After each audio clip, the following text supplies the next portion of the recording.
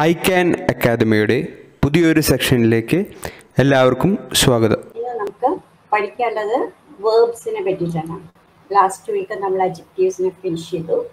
ഇന്ന് നമ്മൾ വേർബ്സിനെ പറ്റിയിട്ടാണ് പഠിക്കാൻ പോകുന്നത്. അപ്പോൾ വേർബ് എന്ന് പറഞ്ഞാൽ മലയാളത്തിൽ ക്രിയ എന്നാണ് പറയുക.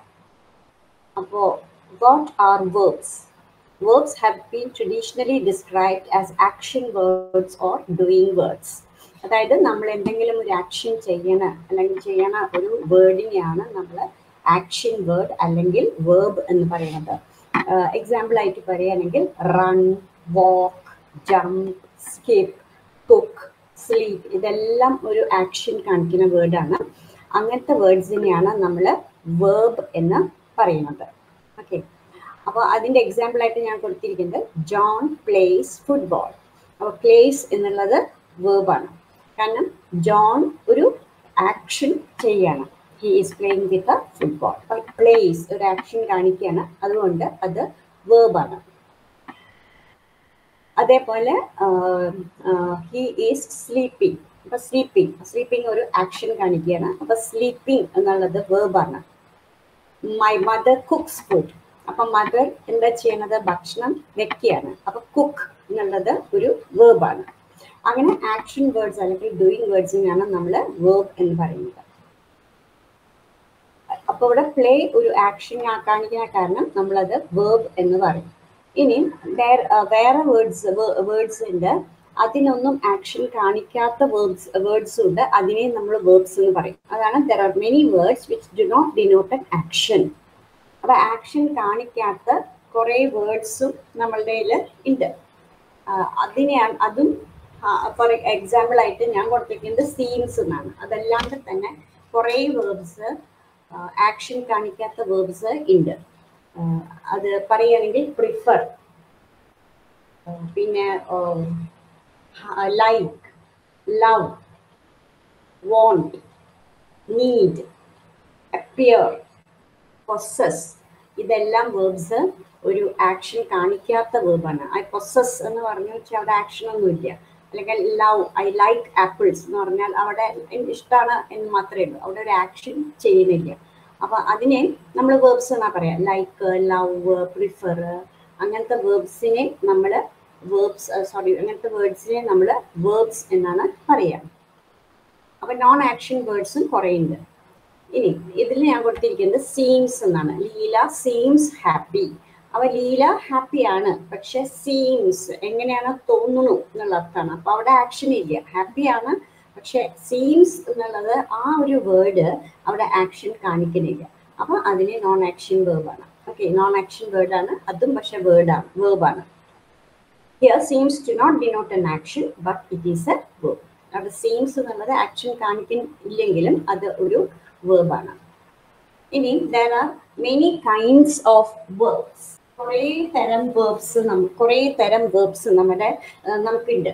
ആ എന്തൊക്കെ തരം വേർബ്സ് ആണ് നമ്മൾക്ക് ഉള്ളത് ഇംഗ്ലീഷിലുള്ളത്. അതാണ് finite verbs non finite verbs transitive verbs intransitive verbs okay നാല് തരത്തിലുള്ള വേർബ്സ് ആണ് ഉള്ളത് ഒന്ന് ഫൈനൈറ്റ് വേർബ്സ് ഒന്ന് നോൺ ഫൈനൈറ്റ് വേർബ്സ് ഒന്ന് ട്രാൻസിറ്റീവ് വേർബ്സ് ഒന്ന് ഇൻട്രാൻസിറ്റീവ് വേർബ്സ് ഇനി എന്താണ് ഫൈനൈറ്റ് വേർബ്സ് എന്ന് പറഞ്ഞാൽ ഫൈനൈറ്റ് വേർബ്സ് എന്ന് പറഞ്ഞാൽ ആ വേർബ് നൗണ് അല്ലെങ്കിൽ സബ്ജക്റ്റ് ഒരു സെന്റൻസിലെ സബ്ജക്റ്റ് ആയിട്ട് ഡയറക്റ്റ് കണക്ഷൻ ഉള്ള ഒരു വേർഡിനെ വേർബിനെയാണ് നമ്മൾ ഫൈനൈറ്റ് വേർബ് എന്ന് പറയാം. They are usually the main verbs of a sentence ആ ഒരു സെന്റൻസിലെ മെയിൻ വേർബാണ് നമുക്ക് ഫൈനൈറ്റ് വേർബ് എന്ന് പറയാം. ഇപ്പം നമ്മൾ തന്ന എക്സാമ്പിൾ ഞാൻ മോളിൽ ഹി പ്ലേസ് ഫുട്ബോൾ എന്ന് പറഞ്ഞു. അതിൽ പ്ലേസ് എന്നുള്ളതാണ് ഫൈനൈറ്റ് വേർബ് ഓക്കെ അത് മെയിൻ വേർബാണ് അത് ആ സബ്ജക്റ്റ് ജോൺ ആയിട്ട് ഒരു റിലേഷൻ കാണിക്കുന്നത്. എന്ത് റിലേഷനാണ് കാണിക്കുന്നത്? ഒരു ആക്ഷൻ വേർഡാണ് അത്. ജോൺ കളിക്കുന്നു. അപ്പം ആക്ഷൻ കാണിക്കുകയാണ്. അപ്പം അത് ഒരു ഫൈനൈറ്റ് വേർബാണ് അതേപോലെ ലീല സീംസ് ഹാപ്പി അവിടെയും ലീല ഹാപ്പി ആണെന്ന് കാണിക്കുന്നു. അപ്പം അവിടെയും ആ സീൻസ് എന്നുള്ളത് ഫൈനൈറ്റ് വേർബാണ് ഓക്കെ ഡയറക്റ്റ് ലീല ഹാപ്പി എന്ന് മാത്രം പറഞ്ഞാൽ അർത്ഥമില്ല. അപ്പൊ അവിടെ ഒരു അർത്ഥം വെക്കാൻ വേണ്ടിയിട്ട് അല്ലെങ്കിൽ ഒരു ഡയറക്റ്റ് റിലേഷൻ കാണിക്കാൻ വേണ്ടിയിട്ടാണ് നമ്മളവിടെ സീൻസ് എന്നുള്ള വേർഡ് വെച്ചിരിക്കുന്നത്. They are usually the main verb of a sentence. They are only used in present and past tense അത് പ്രസന്റ് ടെൻസിലും പാസ്റ്റ് ടെൻസിലും മാത്രമേ അത് യൂസ് ചെയ്യുള്ളൂ. ഈ ഫൈനൈറ്റ് വേർബ്സ് പ്രസന്റ് ടെൻസിലും പാസ്റ്റ് ടെൻസിലും മാത്രമേ യൂസ് ചെയ്യുള്ളൂ. പ്രസന്റ് പാർട്ടിസിപ്പിളോ പ്രസന്റ് കണ്ടിന്യൂസോ പ്രസന്റ് പെർഫെക്റ്റ് ടെൻസോ ഒന്നും ഫൈനൈറ്റ് വേർബ് അല്ല. ഓക്കെ അപ്പൊ അതിന്റെ example she walks home she walks home അവിടെ വാക്സ് എന്നുള്ളത് ഫൈനൈറ്റ് വേർബാണ് കാരണം അതിന് പാസ്റ്റ് ടെൻസ് ഉണ്ട്. ഷീ വാക്ട് ഹോം എന്ന് പറഞ്ഞാലും അർത്ഥമുണ്ട്. അപ്പൊ ഫൈനൈറ്റ് വേർബ് എങ്ങനെയാണ് കണ്ടുപിടിക്കുക? ആ ഫൈനൈറ്റ് വേർബ് ആ ഒരു കോൺടെക്സ്റ്റിൽ പ്രസന്റ് ടെൻസും ആയിട്ടും പാസ്റ്റ് ടെൻസായിട്ടും നമുക്ക് യൂസ് ചെയ്യാൻ പറ്റും എന്നുണ്ടെങ്കിൽ അത് ഫൈനൈറ്റ് വേർബാണ് അപ്പൊ ഷീ വോക്സ് ഹോം എന്നുള്ളതിന് അർത്ഥമുണ്ട്. ഷീ വോക്ക്ഡ് ഹോം എന്ന് പറഞ്ഞാലും അർത്ഥമുണ്ട്. അപ്പൊ അത് ഫൈനൈറ്റ് വേർബാണ് ഷീ വോക്ക്ഡ് ഹോം ഓക്കെ അപ്പൊ അതും ഫൈനൈറ്റ് വേർബാണ് ഇനി നോൺ ഫൈനൈറ്റ് വേർബ് കുറേ തരം ഉണ്ട്. മൂന്ന് തരമാണ് നോൺ ഫൈനൈറ്റ് വേർബ് ഉള്ളത്. These verbs cannot be the main verb of a sentence as they do not indicate the action performed by the noun or subject. They do not indicate any tense or gender. There are three types of non-finite verbs. ഇത് main വേർബായിട്ട് നമുക്ക് use ചെയ്യാം അവിടെ main വേർബിനെ help ചെയ്യാൻ വേണ്ടിയിട്ട് അല്ലെങ്കിൽ ആ main വേർബിന് ഒരു സപ്പോർട്ട് കൊടുക്കാൻ വേണ്ടി മാത്രം യൂസ് ചെയ്യുന്ന വേർബ്സ് ആണ് നോൺ ഫൈനൈറ്റ് വേർബ്സ് അത് എന്താന്ന് വെച്ചാൽ ആ സബ്ജക്റ്റ് നൗണോ ഏത് സബ്ജക്റ്റ് ആണ് ആ സെന്റൻസിൽ എന്നുള്ളത് ആയിട്ട് ഡയറക്റ്റ് റിലേഷൻഷിപ്പ് ഇല്ല. ഫൈനൈറ്റ് വേർബിന് ഡയറക്റ്റ് റിലേഷൻഷിപ്പ് ഉണ്ട്. ഇതിന് ഡയറക്റ്റ് റിലേഷൻഷിപ്പ് ഇല്ല. They do not indicate any tense of gender നേരത്തെ ഞാൻ പറഞ്ഞു ഫൈനൈറ്റ് വേർബിന് ടെൻസ് ഇൻഡിക്കേറ്റ് ചെയ്യാനായിട്ടുള്ള ഒരു ഇതുണ്ട്. ഷീ വോക്സ് ഹോം എന്നുള്ളത് പ്രസന്റ് ടെൻസ് ആണ്. ഷീ വോക്ഡ് ഹോം എന്ന് പറയുകയാണെങ്കിൽ അത് പാസ്റ്റ് ടെൻസ് ആണ്. അപ്പൊ ആ ഒരു ടെൻസ് കാണിക്കില്ല. അങ്ങനെ ടെൻസ് കാണിക്കുന്ന ഒരു വേർബാണ് ഫൈനൈറ്റ് വേർബ് പക്ഷെ നോൺ ഫൈനൈറ്റ് വേർബിന് ടെൻസ് കാണിക്കില്ല. ഓക്കെ ടെൻസ് കാണിക്കാത്ത ഒരു വെർബാണ് ഈ non finite verb there are three types of non finite verbs മൂന്ന് തരം നോൺ ഫൈനൈറ്റ് വേർബ്സ് ഉണ്ട്. ഒന്ന് ഇൻഫിനിറ്റീവ് അതായത് ഇൻഫിനിറ്റ് ടു ടു ടു വെച്ചിട്ട് വേർബ് വെക്കുമ്പോൾ ടു ഇൻഫിനിറ്റ് എന്ന് പറയും. ജെറൻഡ് പാർട്ടിസിപ്പിൾ ഇനി എന്താണ് ഈ ഇൻഫിനിറ്റീവും ഈ എന്താണ് ഈ ജെറിന്റ് എന്താണ് ഈ പാർട്ടിസിപ്പിൾ എന്നുള്ളത് നമുക്ക് പഠിക്കണം. അപ്പോൾ ഇൻഫിനിറ്റീവ് എന്ന് പറഞ്ഞു വെച്ചാൽ ആ വേർബിന്റെ കൂടെ ടു വെക്കുമ്പോഴാണ് അത് ഇൻഫിനിറ്റീവ് ആവുക. He was made to clean the room he was made to clean the room അപ്പോൾ ടു ക്ലീൻ ക്ലീൻ എന്നുള്ളത് അവിടെ വേർബാണ് അതിന്റെ കൂടെ നമ്മൾ ടു വെച്ചു. അപ്പോൾ he was made to clean the room അപ്പോൾ അത് ടു ഇൻഫിനിറ്റീവ് അല്ലെങ്കിൽ അതാണ് അതിന്റെ രൂപം. ടു വെച്ചിട്ട് വേവ് വെക്കുമ്പോൾ അതിനെ ടു ഇൻഫിനിറ്റീവ് എന്നാണ് പറയുക. ഇനി എന്താണ് gerund verbs a gerund is formed by adding I N G to a verb it functions as a noun ഇനി ഇവിടെ നമ്മൾ സൂക്ഷിക്കേണ്ടത് എന്താണെന്ന് വിചാരിച്ചാൽ verb plus I N G നമ്മൾ പഠിച്ചതിന്റെ പ്രോഗ്രസീവ് ടെൻസ് ആണെന്ന്. പ്രസന്റ് കണ്ടിന്യൂസ് ടെൻസ് അല്ലെങ്കിൽ പ്രസന്റ് പ്രോഗ്രസീവ് ടെൻസ് ഇപ്പൊ എക്സാമ്പിൾ പറയുകയാണെങ്കിൽ ഐ ആം ടീച്ചിങ് നൗ എന്ന് പറഞ്ഞാൽ ഞാൻ ഇപ്പോൾ ഒരു ആക്ഷൻ ചെയ്തുകൊണ്ടിരിക്കുകയാണ് പഠിപ്പിച്ചുകൊണ്ടിരിക്കുകയാണ്. അപ്പോൾ അതെന്താണ്? അത് ഒരു പ്രസന്റ് കണ്ടിന്യൂസ് ടെൻസ് ആണ്. പ്രസന്റ് കണ്ടിന്യൂസ് ആണ്. അത് ജെറൻഡ് അല്ല. ജെറൻഡ് വേർബ് പോലെ ഇരിക്കും എങ്കിലും അത് ചെയ്യണ ജോലി നൗണിന്റെ ആണ്. ഓക്കെ വേർബിന്റെ രൂപവും നൗണിന്റെ ജോലിയും ചെയ്യണ ഒരു വേർഡാണ് ജെറന്റ് എന്ന് പറയുന്നത്. സ്വിം എന്ന് പറഞ്ഞു വെച്ചാൽ സ്വിമ്മിങ് ഐ എൻ ജി ചേർത്ത് കഴിഞ്ഞാൽ സ്വിമ്മിങ് ആയി. അപ്പൊ ഐ ലൈക്ക് സ്വിമ്മിങ് അല്ലെങ്കിൽ ഐ ആം സ്വിമ്മിങ് നൗ എന്ന് പറഞ്ഞാൽ ഞാനിപ്പോൾ സ്വിമ്മി ചെയ്തുകൊണ്ടിരിക്കുകയാണ് ഞാനൊരു ആക്ഷൻ ചെയ്തുകൊണ്ടിരിക്കുകയാണ് അപ്പൊ അത് ജസ്റ്റ് വേർബാണ് ഐ ആം സ്വിമ്മിങ് നൗ അതൊരു വേർബാണ് ഐ ലൈക്ക് സ്വിമ്മിങ് അല്ലെങ്കിൽ സ്വിമ്മിങ് ഈസ് മൈ ഹോബി എന്ന് പറയുമ്പോൾ ആ സ്വിമ്മിങ്ങിന്റെ ഒരു പേരാണ് അവിടെ കാണിച്ചിരിക്കുന്നത്. I like swimming. ആ സ്വിമ്മിങ് എനിക്കിഷ്ടമാണ് അവിടെ ഹോബിയുടെ പേരാണ്. അങ്ങനെ പറയുമ്പോൾ അത് നൗണാവും നൗണിന്റെ ഫംഗ്ഷനാണ് ചെയ്യുന്നത്. അങ്ങനെ പറയുമ്പോൾ അത് ജെറൻഡാവും I like swimming. Swimming is my hobby. അപ്പം അവിടെ ഞാൻ അപ്പൊ സ്വിമ്മി ചെയ്യുന്നില്ല. സ്വിമ്മി ചെയ്യുന്ന ഒന്നുമില്ല. പക്ഷെ എനിക്കിഷ്ടമാണ് സ്വിമ്മിങ് എന്ന് മാത്രമേ പറഞ്ഞിട്ടുള്ളൂ. അപ്പോൾ ഏതൊരു വേർഡിന്റെയും ഒരു നൗണിന്റെ ഒരു നൗൺ എന്ന് പറഞ്ഞു കഴിഞ്ഞാൽ എന്താണ്? ഏതെങ്കിലും ഒരു മനുഷ്യന്റെയോ സാധനത്തിന്റെയോ പ്ലേസിന്റെയോ ഒക്കെ ഒരു പേരിനെയാണ് നമ്മൾ നൗൺ എന്ന് പറയുന്നത്. അപ്പൊ ഇവിടെ നൗൺ എന്ന് പറയുന്നത് എന്താണ്? അവിടെ സ്വിമ്മിങ് എന്ന് പറഞ്ഞാൽ സെറ്റ് നമുക്ക് വേർബായിട്ട് തോന്നുമെങ്കിലും ജോലി എന്താണ്? ആ ഹോബിയുടെ പേരാണ്. ആ ഹോബിയുടെ പേര് എന്താണ് സ്വിമ്മിങ് അതേപോലെ നമുക്ക് റീഡിംഗ് എന്ന് പറയാം. ഐ ലൈക്ക് റീഡിംഗ് അല്ലെങ്കിൽ reading is my hobby during my free time I like reading അങ്ങനെ പറയുമ്പോൾ അത് ജെറന്റാണ് അവിടെ ഞാൻ വായിക്കണമെന്നൊന്നുമില്ല പക്ഷെ എന്റെ ഹോബിയുടെ പേര് പറയും അപ്പോൾ അത് ജെറന്റായിട്ട് മാറും. അതാണ് വ്യത്യാസം. ഐ ലൈക്ക് സ്വിമ്മിങ് എന്ന് പറഞ്ഞാൽ എനിക്ക് സ്വിമ്മിങ് ഇഷ്ടമാണ് അവിടെ സ്വിമ്മിങ് ഒരു നൗണിന്റെ ജോലിയാണ് ചെയ്യുന്നത്. അത് നൗണിൻ ആ ഹോബിയുടെ പേര് എനിക്ക് ഇഷ്ടപ്പെട്ട പ്രവൃത്തിയുടെ പേരാണ് സ്വിമ്മിങ് ഞാനിപ്പോൾ സ്വിമ്മിങ് ചെയ്തുകൊണ്ടിരിക്കുകയാണെങ്കിൽ അത് വെറുപ്പാവും I like I am swimming now എന്നൊക്കെ പറയുമ്പോൾ when I get time I I will swim എന്നൊക്കെ പറയുമ്പോൾ അത് ഒരു വെർബിന്റെ ജോലിയാണ് ചെയ്യണത്. അപ്പോൾ അത് ജറണ്ടല്ല നൗണിന്റെ ജോലി ചെയ്യുമ്പോഴാണ് അത് നൗ സോറി ജറന്റായി മാറുന്നത്.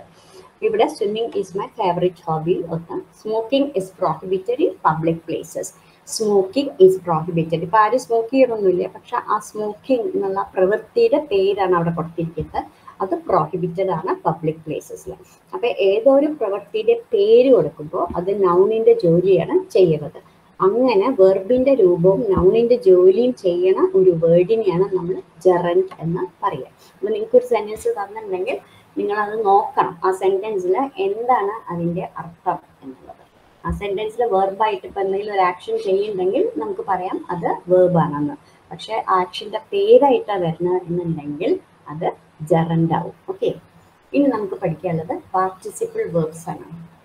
എ പാർട്ടിസിപ്പിൾ ഇതും ജെർഡ് തമ്മിൽ ക്ലോസ്ലി റിലേറ്റഡ് ആണ്. കാരണം രണ്ടിന്റെയും രൂപം ഒന്നാണ്. Verb plus I N G തന്നെയാണ്. ഓക്കെ? അപ്പം നിങ്ങൾ എപ്പോഴും സൂക്ഷിക്കണം. അത് രണ്ടും അങ്ങോട്ടും ഇങ്ങോട്ടും മിക്സ് ചെയ്ത് പോകാതിരിക്കാനായിട്ട് അപ്പോൾ a participle is usually formed by adding I N G or E D to a verb ഒരു വേർബിന്റെ കൂടെ ഐ എൻ ജി അല്ലെങ്കിൽ ഇ ഡി ചേർക്കുമ്പോഴാണ് അത് പാർട്ടിസിപ്പിൾ വേർബായിട്ട് മാറുന്നത്. പക്ഷേ ഇവിടെ മറ്റേത് ഐ എൻ ജി വേർബിന്റെ കൂടെ ഐ എൻ ജി ചേർത്ത് നൗണിന്റെ ജോലി ചെയ്യുമ്പോൾ ചേർണ്ട് ഇവിടെ വേർബിന്റെ കൂടെ ഐ എൻ ജിയോ ഇ ഡിയോ ചേർത്തിട്ട് അജക്റ്റീവിന്റെ വർക്ക് ചെയ്യുമ്പോഴാണ് അത് പാർട്ടിസിപ്പിളായി മാറുന്നത്.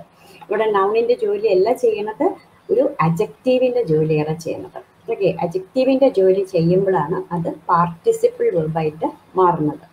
രൂപമൊക്കെ ഒരേപോലെയാണ് verb plus I N G ആവാം. വേർബ് പ്ലസ് ഇ ജി ഒരേ ഒരു രൂപയുള്ളൂ verb plus I N G പാർട്ടിസിപ്പിളിന് ഒന്നില്ലെങ്കിൽ verb plus I N G ആവാം. അല്ലെങ്കിൽ വേർബ് പ്ലസ് ഇ ഡി ആവാം. ഓക്കെ പക്ഷെ അത് എന്താ ചെയ്യണ ജോലി? അത് ഒരു അജക്റ്റീവിന്റെ ജോലിയാണ്. അജക്റ്റീവ് എന്ന് പറഞ്ഞാൽ മലയാളത്തിൽ എന്താണ്? വിശേഷണം. അപ്പോൾ ഒരു നൗണിനെ പറ്റി കൂടുതൽ വിവരങ്ങൾ തരുന്ന ഒരു വേർബായിട്ട് അതിന്റെ അതിന്റെ ജോലി മാറും. അതാണ് പാർട്ടിസിപ്പിൾ വേർബ് ഫോർ എക്സാമ്പിൾ ആയിട്ട് the injured man was waiting for the doctor the injured man man എന്നുള്ളതാണ് നൗൺ നൗണിന് എന്ത് തരം മനുഷ്യനാണ് ഡോക്ടറെ കാണാൻ നിന്നിരുന്നത്? ഇൻജുവേർഡ് മാൻ അപ്പൊ ഇൻജുവേർഡ് എന്നുള്ളത് വേർബാണ് അതിന്റെ കൂടെ ഇ ഡി ചേർത്തു. അപ്പൊ injured man injured man man noun ആണ്. അതിന്റെ കൂടെ നമ്മൾ ഇൻജുവേർഡ് വേർബിന്റെ കൂടെ ഇ ഡി ചേർത്തു. അപ്പൊ ഇൻജുവേർഡ് മാൻ അപ്പൊ അവിടെ ഇൻജുവേർഡ് എന്നുള്ളത് വേർബ് പോലെ ഇരുന്നാലും ഫാസ്റ്റ് ടെൻസ് ആണെന്ന് വിചാരിക്കും.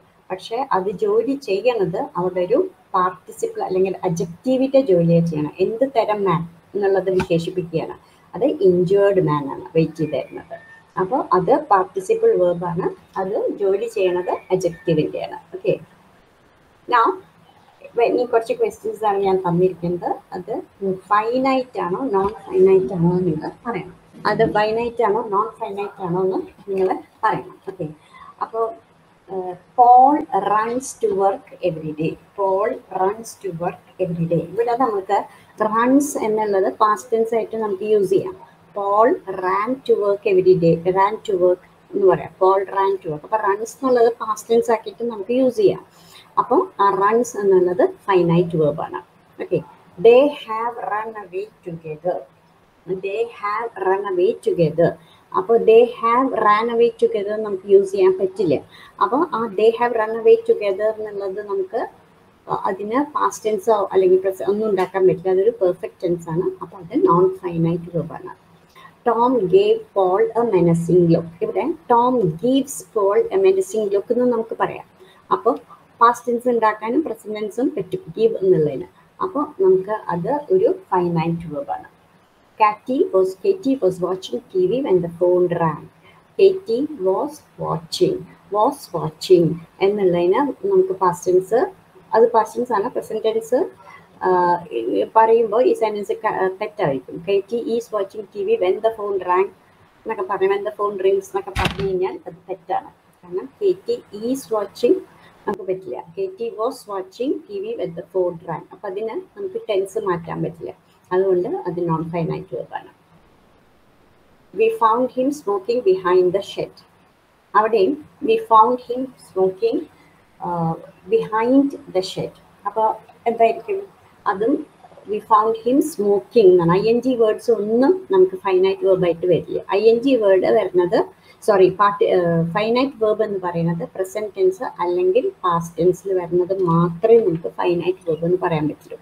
ബാക്കി ഏത് രൂപത്തിൽ വന്ന ഐ എൻ ജിയോ ഇ ഡിയോ ഒക്കെ വന്നാൽ അത് നോൺ ഫൈനൈറ്റ് വേർബാണ് അപ്പോൾ ഇവിടെ we found him smoking I N G വേർഡാണ്. അപ്പോൾ അത് നോൺ ഫൈനൈറ്റ് വേർബാണ് ഓക്കെ അത് മനസ്സിലായെന്ന് വിചാരിക്കുന്നു. ഇനി നമുക്ക് അടുത്തതായിട്ട് പോകാനുള്ളത് ട്രാൻസിറ്റീവ് വേർബും ഇൻട്രാൻസിറ്റീവ് ആണ്. ഓക്കെ എന്താണ് ട്രാൻസിറ്റീവ് വേർബ് എന്താണ് ഇൻട്രാൻസിറ്റീവ് വേർബ് അപ്പോൾ ഒരു വേർബിന് ഒരു ഓബ്ജക്റ്റ് ഉണ്ടെങ്കിൽ അതിനെ ട്രാൻസിറ്റീവ് വേർബ് എന്ന് പറയും. ഒരു വേർബിന് ഓബ്ജക്റ്റ് ഉണ്ടെങ്കിൽ അതിനെ നമ്മൾ ട്രാൻസിറ്റീവ് വേർബ് എന്ന് പറയും. ഇവിടെ എക്സാമ്പിൾ കൊടുത്തിരിക്കുന്നത് I saw the dog I saw the dog ഇതിൽ വേർബ് സോ എന്നാണ്. ഫാസ്റ്റ് സോ എന്ത് ഐ സോ എന്ന് മാത്രം എഴുതി കഴിഞ്ഞു കഴിഞ്ഞാൽ നമുക്ക് ആ സെന്റൻസിൽ അർത്ഥമില്ല. എന്തിനെ വേണമെങ്കിൽ കാണാം അല്ലെ? അപ്പൊ അർത്ഥമില്ല. അപ്പൊ അത് അവിടെ ഓബ്ജക്റ്റ് ഇല്ലാണ്ട് ആ വെർബിന് ഫങ്ഷൻ ചെയ്യാൻ പറ്റില്ല. ഇതിന്റെ പ്രസന്റൻസ് ആണെങ്കിൽ ഐ സി ഐ സി എന്ന് മാത്രം പറഞ്ഞു വെച്ച് കഴിഞ്ഞാൽ അർത്ഥമില്ല. ഓക്കെ അപ്പൊ നമ്മൾ അതിനൊരു ഓബ്ജക്റ്റ് വെച്ചു കൊടുക്കും. അങ്ങനെ ഓബ്ജക്റ്റ് വെച്ച് കൊടുത്താൽ മാത്രമേ അത് ട്രാൻസിറ്റീവ് വേർബ് ആവുള്ളൂ. I see a dog I saw the dog എന്നൊക്കെ പറഞ്ഞാൽ അർത്ഥം. അപ്പൊ അവിടെ ഡോഗ് ആണ് ഓബ്ജക്റ്റ് അപ്പൊ സോ സി എന്നുള്ള വേർബ്സിന് ഓബ്ജക്റ്റ് ഇല്ലാണ്ട് ഒരിക്കലും അർത്ഥം ഉണ്ടാവില്ല. അങ്ങനെ ചില വേർബ്സ് ഉണ്ട് ഇംഗ്ലീഷിൽ ആ വേർബ്സിന് ഒരിക്കലും നമുക്ക് ഒബ്ജക്റ്റ് ഇല്ലാണ്ട് യൂസ് ചെയ്യാൻ പറ്റില്ല. പിന്നെ ചില വേർബ്സ് ചില സമയത്ത് സാഹചര്യം അനുസരിച്ച് കോണ്ടെക്സ്റ്റ് അനുസരിച്ച് ട്രാൻസിറ്റീവ് ആവും ഇൻട്രാൻസിറ്റീവ് ആവും. അത് നമ്മൾ എക്സസൈസ് ചെയ്യുമ്പോൾ കൂടുതൽ മനസ്സിലാവും. അപ്പോൾ ഇവിടെ സോ ഒരു വേർബ് ആണ്. അതിനൊരിക്കലും ഇൻട്രാൻസിറ്റീവ് ആയിട്ട് വർക്ക് ചെയ്യാൻ പറ്റില്ല. അത് എപ്പോഴും ട്രാൻസിറ്റീവ് ആണ്. കാരണം എപ്പോഴും അതിനൊരു ഒബ്ജക്റ്റ് ആവശ്യമാണ്. ഓക്കെ ഇൻട്രാൻസിറ്റീവ് വേർബ് എന്താണ്? And intransitive verb is one that does not take an object intransitive verb എന്ന് പറഞ്ഞാൽ ഒബ്ജക്റ്റിന്റെ ആവശ്യമില്ല. ഹീ ലാഫ്റ്റ് അപ്പോൾ ഹി ലാഫ്റ്റ് എന്ന് പറഞ്ഞാൽ അയാൾ ചിരിച്ചു. അയാൾ ചിരിച്ചു എന്നുള്ള അർത്ഥമാണ്. ഹി ലാഫ്റ്റ് അവിടെ ഒബ്ജക്റ്റ് ഇല്ലെങ്കിലും അർത്ഥം ക്ലിയർ ആണ്. ഹി ലാഫ്റ്റ് എന്നുള്ളത്. അപ്പോൾ അത് ഇൻട്രാൻസിറ്റീവ് വേർബാണ് അവിടെ ഒബ്ജക്റ്റ് വേണം എന്നുണ്ടെങ്കിൽ അത് ട്രാൻസിറ്റീവ് ആയിട്ട് മാറും. അപ്പോൾ ഇവിടെ ഹി ലാഫ്റ്റ് എന്ന് പറഞ്ഞാൽ ആ സെന്റൻസിന്റെ മീനിങ് കംപ്ലീറ്റ് ആണ്. അപ്പോൾ അത് ഒരു ഇൻട്രാൻസിറ്റീവ് വേർബാണ് അപ്പോൾ ട്രാൻസിറ്റീവ് വേർബ് എന്ന് പറഞ്ഞാൽ ഒരു വേർബാണ് അതിന് ഒബ്ജക്റ്റ് വേണം. അങ്ങനെ ഒബ്ജക്റ്റ് ഇല്ലാണ്ട് അർത്ഥം ക്ലിയർ അല്ലെങ്കിൽ അത് ട്രാൻസിറ്റീവ് വേർബാണ് ഒബ്ജക്റ്റ് വേണ്ടാണ്ട് വേണ്ട വേണ്ടെങ്കിലും ആ സെന്റൻസ് ക്ലിയർ ആണ് മീനിങ് ക്ലിയർ ആണെങ്കിൽ അത് ഇൻട്രാൻസിറ്റീവ് വേർബായിട്ട് മാറും. Birds fly in the sky എന്ന് പറഞ്ഞു വെച്ചാൽ നോർമലായിട്ട് കുട്ടികൾ പറയും അത് ട്രാൻസിറ്റീവ് വേർബാണ് അത് ട്രാൻസിറ്റീവ് വേർബ് അല്ല. കാരണം birds fly in the sky എന്ന് പറഞ്ഞു വെച്ചാൽ അതിന്റെ ഒബ്ജക്റ്റ് അല്ല സ്കൈ അതൊരു സ്ഥലം ആണ്. ബേർഡ്സ് എവിടെയാണ് പറക്കണത്? ആകാശത്താണ് പറക്കുന്നത് പക്ഷേ birds fly in the sky അപ്പോൾ ആ ഫ്ലൈയുടെ ഒബ്ജക്റ്റ് അല്ല ഇൻ ദ സ്കൈ എന്നുള്ളത്. അത് ജസ്റ്റ് ഒരു സ്ഥലം. ഒബ്ജക്റ്റ് ആണോ എന്ന് കണ്ടുപിടിക്കണമെങ്കിൽ എന്താണ് ആവശ്യം? ആ നമ്മൾ ചെയ്യണ ആ പ്രവൃത്തി ആ ഒബ്ജക്റ്റിൽ എന്തെങ്കിലും ഒരു റിസൾട്ട് ഉണ്ടാവും. Okay I saw the dog എന്ന് പറഞ്ഞു വെച്ചാൽ ഡോഗിനെ കണ്ടു കഴിഞ്ഞപ്പോൾ ആ ഒബ്ജക്റ്റ് ഡോഗ് ഒന്നുമില്ലെങ്കിൽ ചാടിപ്പോയി ഉണ്ടാവും. അല്ലെങ്കിൽ നമ്മൾ അറ്റാക്ക് ചെയ്യാൻ വരും അപ്പം നമ്മൾ നമ്മൾ ചെയ്യണ ആ വേർബ് ആ ഒബ്ജക്റ്റിൽ എന്തെങ്കിലും ഒരു ആക്ഷന്റെ റിസൾട്ട് വരികയാണെങ്കിൽ മാത്രമേ അത് ഒബ്ജക്റ്റായി മാറുള്ളൂ. അപ്പോൾ ആ birds fly in the sky എന്ന് പറഞ്ഞാൽ സ്കൈയിൽ മാറ്റമൊന്നും വരില്ല. ബേർഡ് അവിടെ ഫ്ലൈ ചെയ്യണമെന്ന് മാത്രമേ ഉള്ളൂ. അപ്പോൾ അത് കാരണം അതൊരു സ്ഥലമാണ്. അത് ഒബ്ജക്റ്റ് അല്ല. അപ്പം birds fly in the sky എന്ന് പറഞ്ഞാൽ ഫ്ലൈ ഈസ് എ ഇൻട്രാൻസിറ്റീവ് അതിന് ഒബ്ജക്റ്റ് വേണ്ട. ഓക്കെ അപ്പോൾ അതാണ് വ്യത്യാസം. ട്രാൻസിറ്റീവും ഇൻട്രാൻസിറ്റീവും തമ്മിൽ.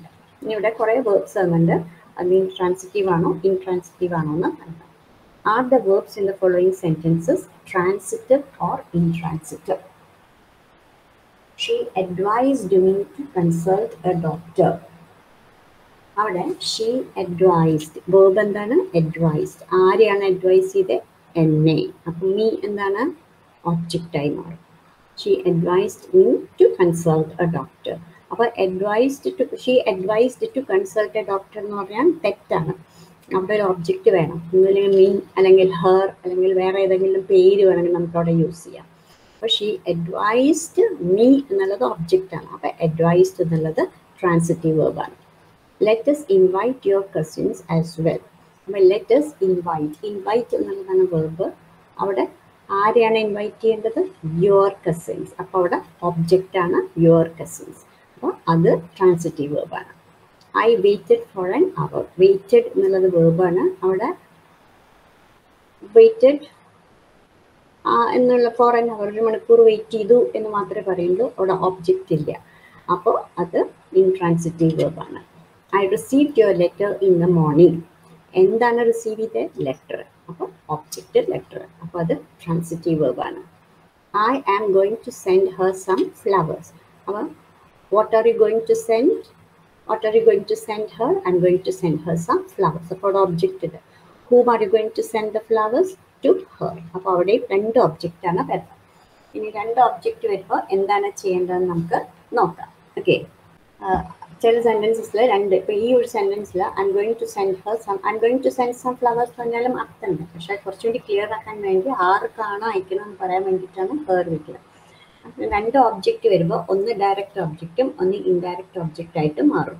ഓക്കെ അപ്പോൾ I'm going to send her some flowers എന്ന് പറഞ്ഞു വെച്ചാൽ ഡയറക്റ്റ് ഒബ്ജക്റ്റ് എപ്പോഴും ഒരു സാധനം ആയിരിക്കും ഒരു തിങ് ആയിരിക്കും ഡയറക്റ്റ് ഒബ്ജക്റ്റ് പിന്നെ ഹ്യൂമൻ ബീങ് ആണ് അത് ഇൻഡയറക്റ്റ് ഒബ്ജക്റ്റ് ആയിട്ട് മാറും.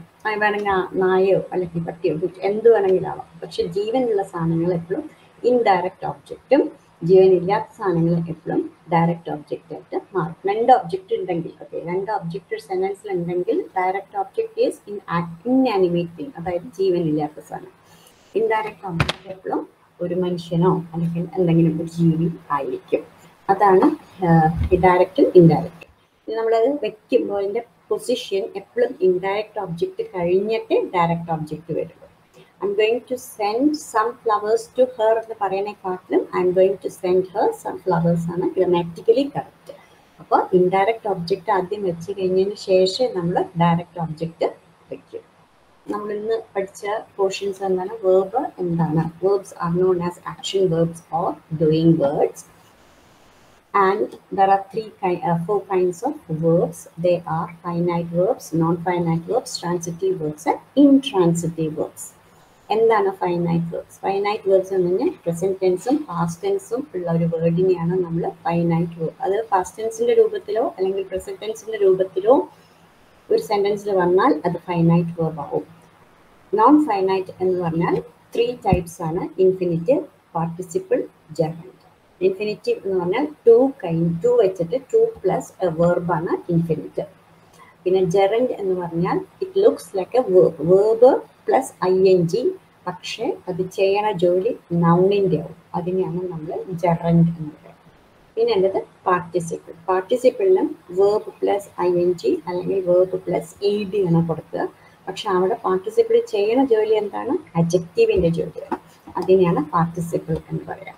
പിന്നെ നമ്മൾ പഠിച്ചത് ട്രാൻസിറ്റീവ് വേർഡ്സും ഇൻട്രാൻസിറ്റീവ് ആണ്. ട്രാൻസിറ്റീവ് വേർഡ്സ് പറഞ്ഞാൽ ആ വേർഡ്സിന് ഒരു ഒബ്ജക്റ്റ് ഉണ്ടാവണം. ആ ഒബ്ജക്റ്റ് ഉണ്ടെങ്കിൽ അത് ട്രാൻസ് ആ വേർബ് ട്രാൻസിറ്റീവ് ആണ്. ഇനി ചില വേർഡ്സിന് ഒബ്ജക്റ്റ് ഇല്ലാണ്ട് തന്നെ മീനിങ് ക്ലിയർ ആവും. അതിനെയാണ് നമ്മൾ ഇൻട്രാൻസിറ്റീവ് വേർബ് എന്ന് പറയുന്നത്. ഇത്രയും നമ്മൾ പഠിച്ചു ഇന്ന്. ഇനി നമ്മൾ എക്സസൈസസിലേക്ക് പോവുകയാണ്. അത് ചെയ്യുമ്പോൾ നിങ്ങൾക്ക് കൂടുതലായിട്ട് മനസ്സിലാവും. You should avoid to go to office as you have severe eye infection.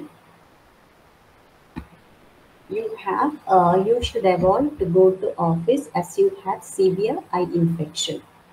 ഇവിടെ അവോയ്ഡ് എന്ന് പറഞ്ഞ വേർബ് എപ്പോഴും ജെറൻഡ് ഫോമാണ് എടുക്കുക. You should avoid going to office as you have severe eye infection avoid എന്നുള്ള വേർബ് കഴിഞ്ഞാൽ നമ്മൾ to verb to plus verb use ചെയ്യാൻ പാടില്ല. നമ്മൾ അവിടെ വേർബിന്റെ കൂടെ ഐ എൻ ജി വെക്കണം. അതായത് gerund അപ്പോൾ you should avoid going to office as you have severe eye infection you should avoid meeting her as she is not well you should avoid doing some mischief അങ്ങനെ avoid കഴിഞ്ഞാൽ വേർബും plus I N G ആണ് നമ്മളെപ്പോഴും ചെയ്യേണ്ടത് okay every one considered him as a brave man but he fled from the battle field every considered him as a brave man, but he fled from the battlefield. അപ്പോൾ ഇവിടെ considered എന്നുള്ള ഒരു verb use ചെയ്ത് കഴിഞ്ഞാൽ നമ്മൾ പിന്നെ അവിടെ ഒരു സിമിലർ അല്ലെങ്കിൽ ഇതിന് വേണ്ടിയിട്ട് ആസ് യൂസ് ചെയ്യാൻ പാടില്ല. കൺസിഡർ എന്നുള്ള വേർഡിലും നമ്മൾ ഒരു സിമിലാരിറ്റി അല്ലെങ്കിൽ ഒരു എന്താ പറയുക ഒരു കമ്പാരിസൺ ഇംപ്ലൈ ചെയ്തിട്ടുണ്ട് കൺസിഡർ എന്ന് പറഞ്ഞാൽ തന്നെ അതിൽ ആസ് എന്നുള്ള മീനിങ് അവിടെ ഉണ്ട്. അത് കാരണം കൊണ്ട് കൺസിഡർ എന്നുള്ള വേർഡ് യൂസ് ചെയ്താൽ പിന്നെ ആസ് യൂസ് ചെയ്യേണ്ട കാര്യം ഇല്ല അതുകൊണ്ട് every one considered him a brave man but he fled from the battle field My father does not mind to be disturbed while he is reading the newspaper. Excuse me.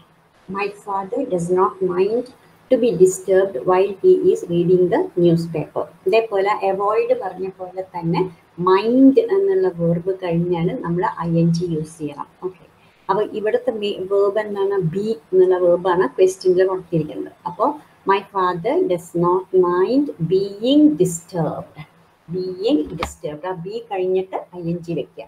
My father does not mind being disturbed why he is reading the newspaper അവിടെ mind എന്നുള്ള verb കഴിഞ്ഞാൽ നമ്മൾ verb plus I N G use ചെയ്യണം. അപ്പോൾ അവിടെ verb എന്താണ്? B എന്നുള്ളതാണ്. അപ്പോൾ ബി കഴിഞ്ഞിട്ട് ഐ എൻ ജി യൂസ് ചെയ്യുക. അപ്പോൾ my father does not mind being disturbed why he is reading the newspaper എന്നാണ് ആൻസർ വരിക.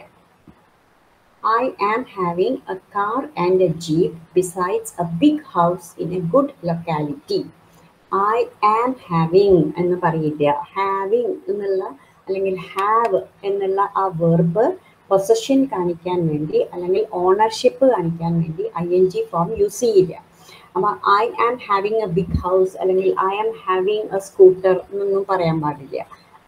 പൊസഷൻ കാണിക്കാനായിട്ട് നമ്മൾ എഴുതുകയാണെങ്കിൽ അല്ലെങ്കിൽ പറയുകയാണെങ്കിൽ അതിന്റെ റൂട്ട് ഫോം യൂസ് ചെയ്യാനേ പാടുള്ളൂ. ഹാവ് മാത്രമേ യൂസ് ചെയ്യാൻ പാടുള്ളൂ. നമ്മൾ നോർമലി സംസാരിക്കുമ്പോൾ പറ്റുന്ന തെറ്റാണ്. I'm having a car എന്നൊക്കെ പറയും. തെറ്റാണ്. ഐ ഹാവ് എ കാർ എന്നേ പറയാൻ പാടുള്ളൂ. അപ്പോൾ I have a car and a jeep besides a big house in a good locality അപ്പോൾ ഹാവ് പൊസഷൻ കാണിക്കാൻ വേണ്ടി നമ്മൾ ഹാവിന്റെ കൂടെ ഐ എൻ ജി ചേർക്കാൻ പാടില്ല. I'm having a bag I'm having a leather bag I'm having a leather vanity bag എന്നൊന്നും പറയില്ല. അതേപോലെ I am having a brother എന്നൊന്നും ഐ ഹാവ് എ ബ്രദർ മാത്രമേ പറയുള്ളൂ പൊസിഷൻ കാണിക്കാനായിട്ട് നമ്മൾ ഹാവിന്റെ കൂടെ ഐ എൻ ജി ചേർക്കാൻ പാടില്ല I bade him to submit all the important documents before he left the job. I bade him to submit all the important documents before he left the job. Bade എന്ന് പറഞ്ഞാൽ ചെയ്യാൻ പാടില്ല I made him not to do it എന്നുള്ള അർത്ഥമാണ്. I four beige എന്നാണ് എന്റെ full form I bade him എന്ന് പറഞ്ഞാൽ ഐ ഒബ്ജക്റ്റഡ് ടു ഹിം അല്ലെങ്കിൽ ഐ പ്രിവെന്റഡ് ഹിം എന്നുള്ള അർത്ഥമാണ് ബേഡ് എന്ന് പറഞ്ഞാൽ. അപ്പോൾ I bade him to submit all the important documents before he left the job അത് ഒരു അർത്ഥം ബേഡിന്റെ ഇവിടെ ബേഡ് എന്ന് പറയുമ്പോൾ കുറച്ചുകൂടി ഫോഴ്സ് ചെയ്ത് പറഞ്ഞു ഓർഡേർഡ് ഹിം എന്നുള്ള അർത്ഥമാണ് ഇവിടെ വരുന്നത്. അപ്പോൾ I bade him I ordered him to submit അപ്പോൾ അവിടെ അങ്ങനെ പറയുമ്പോൾ ബിഫോർ ഹി ലെവ് ദ ജോബ് അവിടെ ബേഡ് എന്നുള്ള വേർബ് കഴിഞ്ഞു കഴിഞ്ഞാൽ നമ്മൾ ടു ഇൻഫിനിറ്റീവ് യൂസ് ചെയ്യില്ല. അപ്പോൾ I bade him submit all the important documents എന്നേ പറയാൻ പാടുള്ളൂ. ബേഡ് എന്നുള്ള വേർബ് കഴിഞ്ഞു കഴിഞ്ഞാൽ ടു യൂസ് ചെയ്യില്ല. അപ്പോൾ I bade him submit all to plus verb use ചെയ്യില്ല ബേഡ് കഴിഞ്ഞാൽ. അത് ഓർത്ത് വയ്ക്കണം കാരണം ബേഡ് വളരെ ഇമ്പോർട്ടന്റ് ഒരു വേർഡാണ് അത് മിക്ക ക്വസ്റ്റ്യൻ പേപ്പറിലും റിപ്പീറ്റ് ചെയ്ത് കണ്ടിട്ടുണ്ട്. ഈ സെയിം സെന്റൻസ് ആവില്ല പക്ഷെ ബേഡ് ഉണ്ടാവും അവിടെ. Bade him to go out അങ്ങനെ എന്നൊക്കെ വരും. അപ്പോൾ bade him going out bade him go out അങ്ങനെ പറയും. അപ്പോൾ I bade him submit all the important documents before he left the job Mrs. Philip would rather spend a quiet evening than attending a party. ഇവിടെ Mrs Philip would rather spend a quiet evening rather spend a quiet evening spend എന്നുള്ളത് root form of the ആണ്. Spend okay rather spend a quiet evening than. അപ്പൊ ഈ than വരുമ്പോൾ രണ്ട് than comparison ആണല്ലോ. അപ്പൊ ആ കമ്പാരിസൺ രണ്ട് തിങ്സ് വെച്ചിട്ട് കമ്പാരിസൺ രണ്ട് കാര്യങ്ങൾ വെച്ചിട്ടാണല്ലോ നമ്മൾ എപ്പോഴും കമ്പയർ ചെയ്യുക. അപ്പൊ ആ രണ്ട് കാര്യങ്ങൾ വെച്ച് കമ്പയർ ചെയ്യുമ്പോൾ ആദ്യത്തെ ഏതാണോ അതേ വേർബ് തന്നെ അതേ ഫോം തന്നെ വേണം രണ്ടാമത്തെ വേർബിന്റെ കൂടെ. അപ്പൊ ഇവിടെ ആദ്യത്തെ വേർബിന്റെ കൂടെ നമ്മൾ വെറും വെറും വേർബാണ് യൂസ് ചെയ്തത്. അതിന്റെ റൂട്ട് ഫോം ആണ് യൂസ് ചെയ്തത്. പ്രസന്റ് ടെൻസും past ടെൻസും I N G form E D form മൂന്നും നമ്മൾ യൂസ് ചെയ്തിട്ടില്ല സ്പെൻഡ് എന്നാണ്. സ്പെൻഡ് എന്താണ്? ആ വേർബാണ് അതിന്റെ പാസ്റ്റ് ടെൻസ് ആണ് സ്പെൻഡ് അതിന്റെ പാർട്ടിസിപ്പിൾ ഫോമും സ്പെൻഡ് ആണ്. അപ്പൊ അതിന്റെ അത് സ്പെൻഡ് എന്നുള്ളത് ഒരു വേർബാണ് ആ റൂട്ട് ഫോം ഓഫ് ദ വേർബാണ് അതാണ് യൂസ് ചെയ്തിട്ടുണ്ട് അപ്പൊ സെക്കൻഡ് പാർട്ടിലും അത് തന്നെ യൂസ് ചെയ്യണം. അറ്റൻഡിങ് എന്ന് യൂസ് ചെയ്യാൻ പാടില്ല. ദാൻ അറ്റൻഡ് എ പാർട്ടി അപ്പോൾ ഒന്നുകൂടി പറയാം. Mrs Philip would rather spend a quiet evening than attend a party ഇവിടെ അറ്റൻഡിങ് തെറ്റാണ് കാരണം സ്പെൻഡ് റൂട്ട് ഫോം ആണ്. അപ്പൊ ദാൻ യൂസ് ചെയ്യുമ്പോൾ കമ്പാരിസൺ ആണ്. രണ്ട് കാര്യങ്ങൾ വെച്ച് കമ്പയർ ചെയ്യുമ്പോൾ ആ രണ്ട് കാര്യങ്ങളും അല്ലെങ്കിൽ രണ്ട് ആക്ഷൻസും ഒരേ ടെൻസിലാവണം അപ്പോൾ ഇവിടെ സ്പെൻഡ് എന്നുള്ള റൂട്ട് ഫോം ആണെങ്കിൽ അവിടെ അറ്റൻഡ് എന്നുള്ളതും റൂട്ട് ഫോം ആണ്. അറ്റൻഡിങ് എന്ന് പറയാൻ പാടില്ല. അപ്പോൾ than attend a party The lifeguard would not let the children to swim at the deep end of the pool. The lifeguard would not let the children to swim at the deep end of the pool. അപ്പോൾ let let എന്ന് പറഞ്ഞാൽ സമ്മതിച്ചില്ല എന്നുള്ള അർത്ഥമാണ്. Let is also an important word ലെറ്റും വളരെ important ഒരു വേർഡാണ് let കഴിഞ്ഞാൽ നമ്മൾ ഇതേപോലെ ടു പ്ലസ് വേർബ് യൂസ് ചെയ്യില്ല. ഓക്കെ ലെറ്റ് കഴിഞ്ഞാൽ ടു പ്ലസ് വേർബ് നമ്മൾ യൂസ് ചെയ്യില്ല. അത് വളരെ ഇമ്പോർട്ടന്റ് ആയിട്ടുള്ള റൂളാണ് but the lifeguard would not let the children swim at the deep end of the pool. To swim എന്ന തെറ്റാണ് The lifeguard would not let the children swim at the deep end of the pool. എന്താ കാരണം let കഴിഞ്ഞാൽ നമ്മൾ to plus verb use ചെയ്യില്ല The teacher did not let the children go out. The children the teacher did not let the children go out. Did not let the children to go out എന്ന് തെറ്റാണ് did not let the children go out. The parents forbade uh, their son, uh, അല്ലെങ്കിൽ uh, sorry, the, the parents, um, the parents let uh, the son let their son work in a company when he was studying. അപ്പോൾ parents സമ്മതിച്ചു ആ കുട്ടിയോട് work ചെയ്തോളാൻ പറഞ്ഞു പഠനത്തോടു കൂടി അതാണ് അതിനർത്ഥം അപ്പോൾ the parents let their son work in an office while he was study അപ്പോൾ ലെറ്റ് കഴിഞ്ഞാൽ പിന്നെ ടു എന്നുള്ളത് ടു വർക്ക് എന്നൊന്നും യൂസ് ചെയ്യേണ്ട. ലെറ്റ് കഴിഞ്ഞാൽ പിന്നെ വെറുതെ വേർബ് മാത്രമേ യൂസ് ചെയ്യേണ്ടൂ. അപ്പോൾ അതേപോലെ the lifeguard would not let the children swim at the deep end of the pool After the teacher had told the boys how to pronounce the word, all of them in one voice repeated the word again. ഇവിടെ തെറ്റെന്താണെന്ന് വെച്ചാൽ സൂക്ഷിച്ചു നോക്കിയാൽ അറിയാം. After the teacher had told the boys how to pronounce the word, all of them in one voice repeated the word again. For repeated, എന്ന് പറഞ്ഞാൽ എന്താണ്? എടുത്ത് നമ്മൾ ആവർത്തിച്ച് ആവർത്തിച്ച് പറയുന്നതാണ് റിപ്പീറ്റ് എന്ന് പറയുന്നത് അപ്പൊ ആവർത്തിച്ച് ആവർത്തിച്ച് പറയാന്നുള്ളതും എഗെയിൻ എന്നുള്ളതും ഒരേ മീനിങ് ആണ്. അപ്പൊ റിപ്പീറ്റ് എന്ന് പറഞ്ഞാൽ പിന്നെ എഗെയിൻ യൂസ് ചെയ്യണ്ട. എഗെയിൻ യൂസ് ചെയ്താൽ അർത്ഥം ഇല്ല. മീനിങ്ലെസ് ആയിട്ട് പോകും. അപ്പോൾ after the teacher had told the boys how to pronounce the word all of them in one voice repeated the word again വേണ്ട റിപ്പീറ്റഡ് ദ വേർഡ് പറഞ്ഞു എടുത്തു പറഞ്ഞു എന്നുള്ളതാണ്. എഗെയിൻ അവിടെ ആവശ്യമില്ല. സെയിം മീനിങ് ആണ് അതുകൊണ്ട് എഗെയിൻ ആവശ്യമില്ല. Even after 60 years of independence, lakhs of people do not have a bed to sleep. അപ്പോൾ സിക്സ്റ്റി ഇയേഴ്സ് ഓഫ് ഇൻഡിപെൻഡൻസ് കഴിഞ്ഞാലും lakhs of people do not have a bed to sleep അവിടെ എന്താ വരണമെന്ന് വെച്ചാൽ നമ്മൾ lakhs of people do not have a bed to sleep അവിടെ bed എന്നുള്ളത് നൗണാണ് ഓക്കെ ഒരു കിടക്ക അല്ലെങ്കിൽ കിടക്ക എന്ന് പറഞ്ഞാൽ നൗണാണ് ഒരു സാധനത്തിന്റെ പേരാണ്. അപ്പോൾ അത് കഴിഞ്ഞിട്ട് നമ്മൾ ടു സ്ലീപ്പ് ടു പ്ലസ് വേർബാണ് വരുന്നത് നൗൺ കഴിഞ്ഞിട്ട് ടു പ്ലസ് വേർബ് വരുമ്പോൾ ആ വേർബിന് അനുയോ നൗണിന് അനുയോജ്യമായിട്ടുള്ള ഒരു പ്രപ്പോസിഷൻ യൂസ് ചെയ്യണം. പ്രപ്പോസിഷൻ എന്ന് പറഞ്ഞാൽ എന്താണ്? ചെറിയ ചെറിയ വേർഡ്സ് ആണ്. അത് ഡയറക്ഷൻ അല്ലെങ്കിൽ എന്തെങ്കിലും ഒരു റിലേഷൻഷിപ്പ് കാണിക്കുന്ന വേർഡ്സ് ആണ്. അപ്പോൾ ബെഡിന്റെ ഉള്ളിൽ നമ്മൾ എന്താ പറയാ? I am sleeping in my bed എന്നാണ് പറയാ. ഇൻ മൈ ബെഡ് കിടക്കയിൽ കിടക്കുന്നു അപ്പോൾ അതേപോലെ to not have a bed to sleep in എന്നാണ് പറയുക ആ പ്രപ്പോസിഷൻ ബെഡിന്റെ കൂടെ വരുന്നത് ഇൻ ആണ്. അപ്പോൾ do not have a bed to sleep in അപ്പോൾ ഒരു പ്രപ്പോസ് ഒരു നൗൺ കഴിഞ്ഞിട്ട് ടു പ്ലസ് വേർബ് വരുമ്പോൾ അതിന്റെ അത് കഴിഞ്ഞാൽ അതിന് അനുയോജ്യമായിട്ടുള്ള ഒരു പ്രപ്പോസിഷൻ അവിടെ യൂസ് ചെയ്യണം. Even after sixty years of independence lakhs of people to not have a bed to sleep in okay They did not came out victorious, yet they were not disappointed. ഇതും ഒരു common mistake ആണ് എല്ലാവരും ഉണ്ടാക്കുന്നത്. അതായത് കുട്ടികളുടെ അടുത്തൊക്കെ ഇപ്പോൾ സ്കൂളിൽ ചോദി ഇംഗ്ലീഷിൽ ടീച്ചർ ചോദിക്കുകയാണ് did you do your homework എന്ന് ചോദിച്ചു കഴിഞ്ഞാൽ കുട്ടികൾ പറയും I did not did it അല്ലെങ്കിൽ have you brought your book എന്ന് പറഞ്ഞാൽ കുട്ടികൾ എന്താ പറയുക I did not brought it I did not brought it അത് തെറ്റാണ്. കാരണം ഡിഡ് അല്ലെങ്കിൽ ഡു എന്ന് കാണിക്കുന്നത് ടെൻസ് ആണ്. അപ്പൊ ഡിഡ് അല്ലെങ്കിൽ ഡു ഒരു ഒരു സെന്റൻസിൽ ഉണ്ടെങ്കിൽ പിന്നെ നമ്മൾ ആ root form of the verb use ചെയ്താൽ മതി. അതിന്റെ പ്രസന്റ് ടെൻസോ പാസ്റ്റ് ടെൻസോ യൂസ് ചെയ്യേണ്ട വേർബിന്റെ അതിന്റെ റൂട്ട് ഫോം മാത്രം യൂസ് ചെയ്താൽ മതി. അപ്പൊ ഇവിടെ they did not came of victorious yet they were not disappointed. അവിടെ ഡിഡ് ഉണ്ട്. ഡിഡ് എന്താ കാണിക്കുന്നത്? പാസ്റ്റ് ടെൻസ് ആണ്. കാരണം രണ്ടാമത്തെ പാട്ടിൽ yet they were not disappointed were എന്ന് കാണിക്കുന്നതും പാസ്റ്റ് ടെൻസ് ആണ്. അപ്പൊ ദേ ഡിഡ് നോട്ട് കെയിം എന്ന് പറഞ്ഞാൽ തെറ്റാണ്. അവിടെ കെയിമിന്റെ റൂട്ട് ഫോം യൂസ് ചെയ്താൽ മതി. അതാണ് കം. അപ്പൊ they did not come out victorious yet they were not disappointed അപ്പോൾ I did not did my homework എന്ന് പറഞ്ഞാൽ തെറ്റാണ്. I did not do my homework I have not brought sorry I did not bring my book എന്നാണ് പറയുന്നത്. I did not brought my book എന്ന് തെറ്റാണ്. I did not bring my book okay അപ്പോൾ did അല്ലെങ്കിൽ do do present tense കാണിക്കുന്നതാണ് do you have do you have a job അപ്പോൾ do you had a job എന്ന് ചോദിക്കില്ല. Do you have a job നിങ്ങൾക്ക് job ഉണ്ടോ? അപ്പോൾ എപ്പോഴും ഡൂവിന്റെ കൂടെ പ്രസന്റ് ആ root form of the verb use ചെയ്യുക അതേപോലെ ഡിഡിന്റെ കൂടെ root form of the verb മാത്രം യൂസ് ചെയ്യുക കാരണം ഡിഡും ഡുവും കാണിക്കുന്നത് പ്രാസ്റ്റൻസ് ആണോ പ്രസന്റൻസ് ആണോ എന്നാണ് കാണിക്കുന്നത് ഡിഡ് യൂസ് ചെയ്ത പാസ്റ്റൻസ് ആണ് ഡു യൂസ് ചെയ്ത പ്രസന്റൻസ് ആണ്. Okay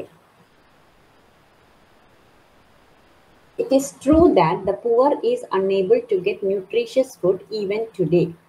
ഞാൻ നേരത്തെ അജക്റ്റീവ്സ് എടുത്തപ്പോൾ പറഞ്ഞു തന്നിട്ടുണ്ടായിരുന്നു.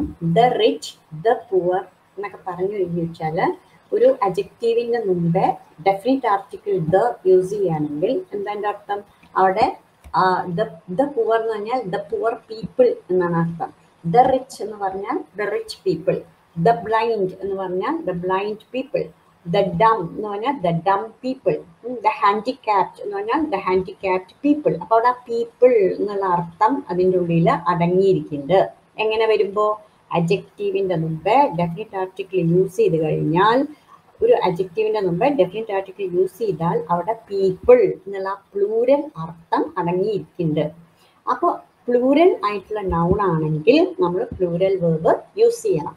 അപ്പൊ അതാണ് it is true that the poor എന്ന് പറഞ്ഞാൽ ദ പുവർ പീപ്പിൾ എന്നുള്ള അർത്ഥം. ആ ആശയം ആ ദ പുവർ എന്ന് മാത്രം എഴുതിയിട്ടുള്ളൂ. പീപ്പിൾ എന്നില്ലെങ്കിലും അവിടെ പീപ്പിൾ എന്നുള്ളത് ഏതാണ് പറഞ്ഞിട്ടുണ്ട്. അല്ലെങ്കിൽ ആ ആശയം അതിൽ അടങ്ങിയിട്ടുണ്ട്. ദ പുവർ എന്നുള്ള ആശയം ആ ദ പുവർ പീപ്പിൾ എന്നുള്ള ആശയം ദ പുവർ എന്ന് പറയുമ്പോൾ അതിൽ അടങ്ങിയിരിക്കില്ല അപ്പൊ the poor the rich the blind the dumb the handicapped എന്ന് പറഞ്ഞാൽ നമുക്ക് പറയാം? അർത്ഥം എന്താണ്? ദ പുവർ പ്ലൂരൽ വേർഡ് ആണ് അത്. Okay the poor people the poor rich people അങ്ങനെ അത് ആ പ്ലൂരൽ ആശയം അടങ്ങിയിട്ടുള്ള കാരണം നമ്മൾ അവിടെ പ്ലൂരൽ വേർബ് യൂസ് ചെയ്യണം. അപ്പോൾ it is true that the poor are unable poor എന്ന് കാണുമ്പോൾ നിങ്ങൾ വിചാരിക്കും സിംഗുലർ ആണെന്ന്. പക്ഷെ നിങ്ങൾ നോക്കണം അതിന് മുമ്പിൽ ഡെഫിനിറ്റ് ആർട്ടിക്കിൾ ഉണ്ട്. ഡെഫിനിറ്റ് ആർട്ടിക്കിൾ ഉണ്ടെങ്കിൽ അത് പ്ലൂരൽ വേർബ് യൂസ് ചെയ്യണം. The poor are unable to get nutritious food even today the number of ATMs are being increased to serve customers better. The number of ATMs are being increased to serve customers better.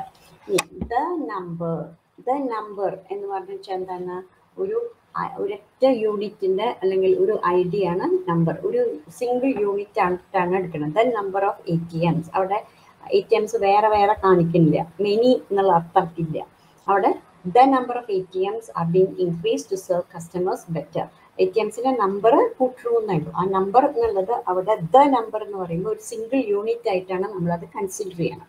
അപ്പൊ അങ്ങനെ single unit ആവുമ്പോൾ consider ചെയ്യുമ്പോൾ വേർബും singular ആണ്. അപ്പൊ the number of A T Ms is being increased to serve customers better അവിടെ singular വെർബാണ് use ചെയ്യേണ്ടത്. ഇനി ഇതേപോലെ എ നമ്പർ വരും. A number of A T Ms എന്ന് പറയുമ്പോൾ അതിന്റെ അർത്ഥം എന്താണ്? എ നമ്പർ വരുമ്പോൾ അർത്ഥം മെനി എന്നുള്ളതാണ്. അപ്പോൾ many A T Ms are being increase അപ്പൊ a number of A T Ms are being increase അപ്പൊ എ നമ്പർ വരുമ്പോൾ പ്ലൂരൽ വേർബ് യൂസ് ചെയ്യണം. ദ നമ്പർ വരുമ്പോൾ സിംഗുലർ വേർബ് യൂസ് ചെയ്യണം. The number of students in the class today is few the number of students in this class is few അവിടെ singular ആണ് കാരണം the number of students single unit ആയിട്ട് എടുക്കുകയാണ് അപ്പം the number വരുമ്പോൾ അത് singular വെർബാണ് during A hartal day അല്ലെങ്കിൽ നമുക്ക് പറയാം as it is hartal today there are as it is not അല്ലെങ്കിൽ as it's a working day there are a number of cars on the road today as it is a working day there are a number of cars on the road a number of cars എന്ന് പറഞ്ഞാൽ many cars There are a number of cars അപ്പോൾ അവിടെ ആറ് use ചെയ്യണം. കാരണം A number എന്ന് പറഞ്ഞാൽ many എന്നുള്ള അർത്ഥമാണ് അപ്പം നിങ്ങൾ ഇത് മാത്രം ആലോചിച്ചിരിക്കുക. അല്ലെങ്കിൽ ഓർത്ത് വയ്ക്കുക ദ നമ്പർ എന്ന് പറഞ്ഞാൽ സിംഗുലർ വെർബും എ നമ്പർ എന്ന് പറഞ്ഞാൽ പ്ലൂരൽ വെർബുമാണ് യൂസ് ചെയ്യേണ്ടത്. He denied that he had not forged my signature. Denied എന്ന് പറഞ്ഞാൽ എന്തെങ്കിലും ഒരു കാര്യം ചെയ്തിട്ടില്ലാന്നോ പറഞ്ഞിട്ടില്ലാന്നോ എന്തെങ്കിലും ഇല്ല അത് റെഫ്യൂസ് ചെയ്യുക എന്നുള്ള അർത്ഥമാണ് ഡിനൈ എന്ന് പറഞ്ഞത്. അപ്പൊ ആ ഡിനൈഡ് എന്നുള്ള വേർഡിൽ നോട്ട് എന്നുള്ള അർത്ഥം അടങ്ങിയിരിക്കുന്നുണ്ട്. അപ്പൊ അതിൽ നോട്ടിന്റെ അർത്ഥം അടങ്ങിയിരിക്കുന്നു ഇപ്പൊ ഞാൻ റിപ്പീറ്റഡ് പറഞ്ഞു. അതിൽ അഗെയിൻ എന്നുള്ള വേർഡിന്റെ അഗെയിൻ എന്നുള്ള വേർഡിന്റെ അർത്ഥം അടങ്ങിയിരിക്കുന്ന കാരണം നമ്മൾ അഗെയിൻ ആദ്യം യൂസ് ചെയ്യണ്ട. അതേപോലെ ഡിനൈഡ് എന്നുള്ള ആ വേർഡിൽ നോട്ട് എന്നുള്ള മീനിങ് അടങ്ങിയിരിക്കുന്നുണ്ട്. അത് കാരണം നമ്മൾ ആദ്യം നോട്ട് യൂസ് ചെയ്യേണ്ട.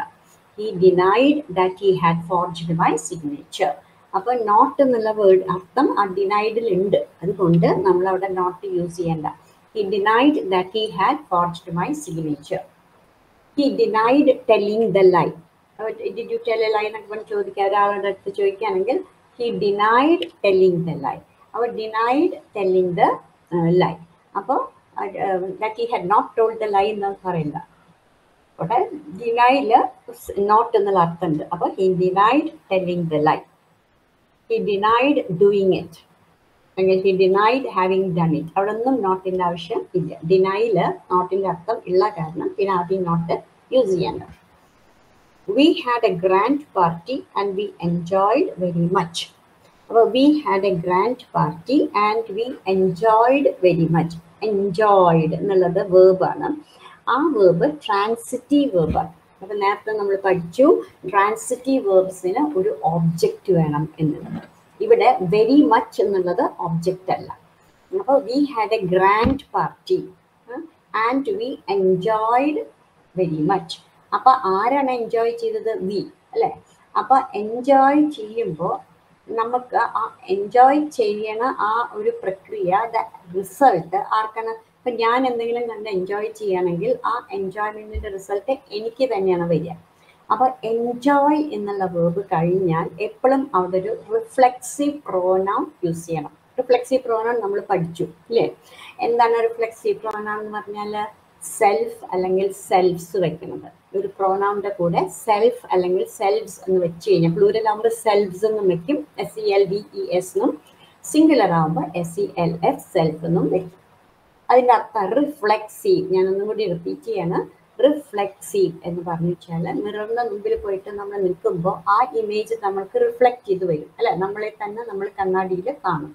അപ്പൊ നമ്മളുടെ പ്രതിച്ഛായ നമുക്ക് തന്നെ റിഫ്ലക്ട് ചെയ്ത് കാണിച്ചു അതാണ് റിഫ്ലക്ട് എന്നുള്ളതിന്റെ അർത്ഥം. അതെന്ന് പറയുന്നതാണ് ഈ റിഫ്ലക്സീവ് അപ്പോൾ നമ്മൾ എന്തോ ഒരു ആക്ഷൻ ചെയ്തിട്ട് ആ ആക്ഷന്റെ റിസൾട്ട് നമ്മൾക്ക് തന്നെ വരികയാണെങ്കിൽ അതിനെ നമ്മൾ റിഫ്ലക്സീവ് എന്നാണ് പറയാ. റിഫ്ലക്സീവ് പ്രോനൗൺ അപ്പൊ റിഫ്ലക്സീവ് പ്രോനൗൺ ആവണമെങ്കിൽ എന്ത് വേണം സെൽഫ് അല്ലെങ്കിൽ സെൽഫ്സ് ആ വേർബിന്റെ കൂടെ പ്രോനൗണിന്റെ കൂടെ നമ്മൾ ചേർക്കണം.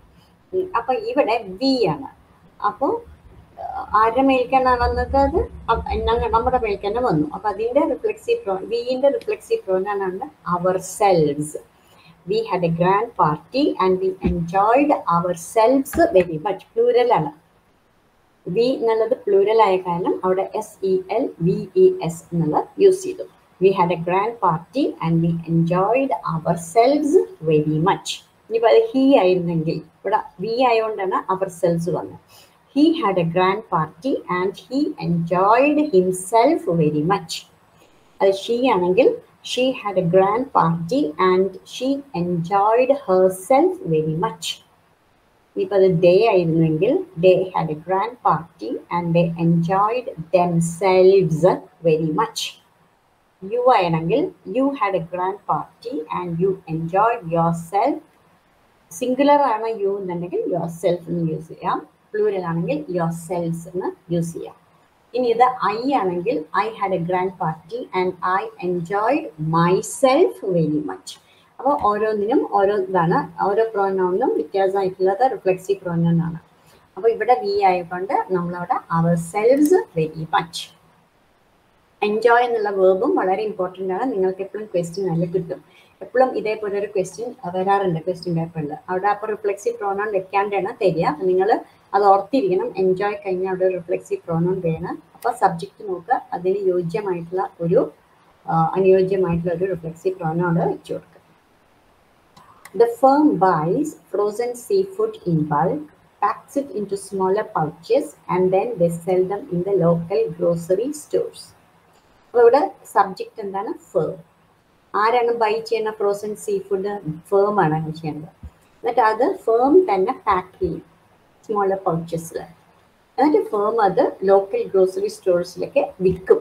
ഓക്കെ അതാണ് ഈ സെനൻസിന്റെ അർത്ഥം. വലിയൊരു സെന്റൻസ് ആണ്. അപ്പോൾ ഫേം എന്ന് പറഞ്ഞാൽ ഒരു കമ്പനിയുടെ ഒരു ചെറിയൊരു പാർട്ട് അല്ലെങ്കിൽ കമ്പനിയുടെ ഉള്ളിൽ തന്നെ ഒരു കമ്പനിനെയാണ് നമ്മൾ ഫേം എന്ന് പറയാം. അപ്പോൾ ആ ഫേം എന്നുള്ളത് ഇവിടെ സിംഗുലർ ആണ്. ഫേംസ് എന്നില്ലല്ലോ അപ്പോൾ ഫേം സിംഗുലർ ആയ കാരണം വേർബ് ബൈസ് എന്ന് നമ്മൾ വെച്ചു. എന്നിട്ട് frozen seafood in bulk അതേപോലെ പാക്സ് ഫേം സിംഗുലർ ആയ കാരണം verb packs buys packs okay it into smaller pouches and then they sell them in the local grocery stores and then അപ്പോൾ ഫേം സിംഗുലർ ആവുമ്പോൾ വേർബും singular ആവണം പ്രോനൗണും singular എന്ത് ഏതൊരു വേർഡും ഇതിനോടായിട്ട് connected ആയിട്ടാണെങ്കിൽ അതൊക്കെ സിംഗുലർ ആവണം അപ്പോൾ ഇവിടെ വേർബൊക്കെ ശരിയാണ് ബൈസും ടാക്സും ശരിയാണ്. പക്ഷെ പ്രോനൗൺ തെറ്റാണ്. ആൻഡ് ദെൻ ദേ എന്ന് പറയാൻ പാടില്ല. കാരണം ഫേം സിംഗുലർ ആണ് അപ്പം നമ്മൾ എന്താ പറയാ? ഇറ്റ് എന്നാണ് പറയാ. ആൻഡ് ദെൻ ഇറ്റ് അപ്പോൾ ഇറ്റ് സിംഗുലർ ആകുമ്പോൾ വേർബും സിംഗുലർ ആവണം. And then it sells then in the local grocery stores then എന്നുള്ളത് ഈ പൗച്ചസ് ആണ്. And then it sells them in the local grocery stores എന്നാണ് കാര്യം? നമുക്ക് റിപ്പീറ്റ് ചെയ്യാം. ഫേം സിംഗുലർ ആണ്. അത് കാരണം കൊണ്ട് വേർബും പ്രോനൗണും ഒക്കെ സിംഗുലർ ആണ് അപ്പോൾ ഇവിടെ വേർബ്സ് ഒക്കെ ശരിയാണ്. The firm buys frozen seafood in bulk packs firm singular ആയിട്ടാണ്. പാക്സ് വേർബിന്റെ കൂടെ എസ് ചേർക്കണം.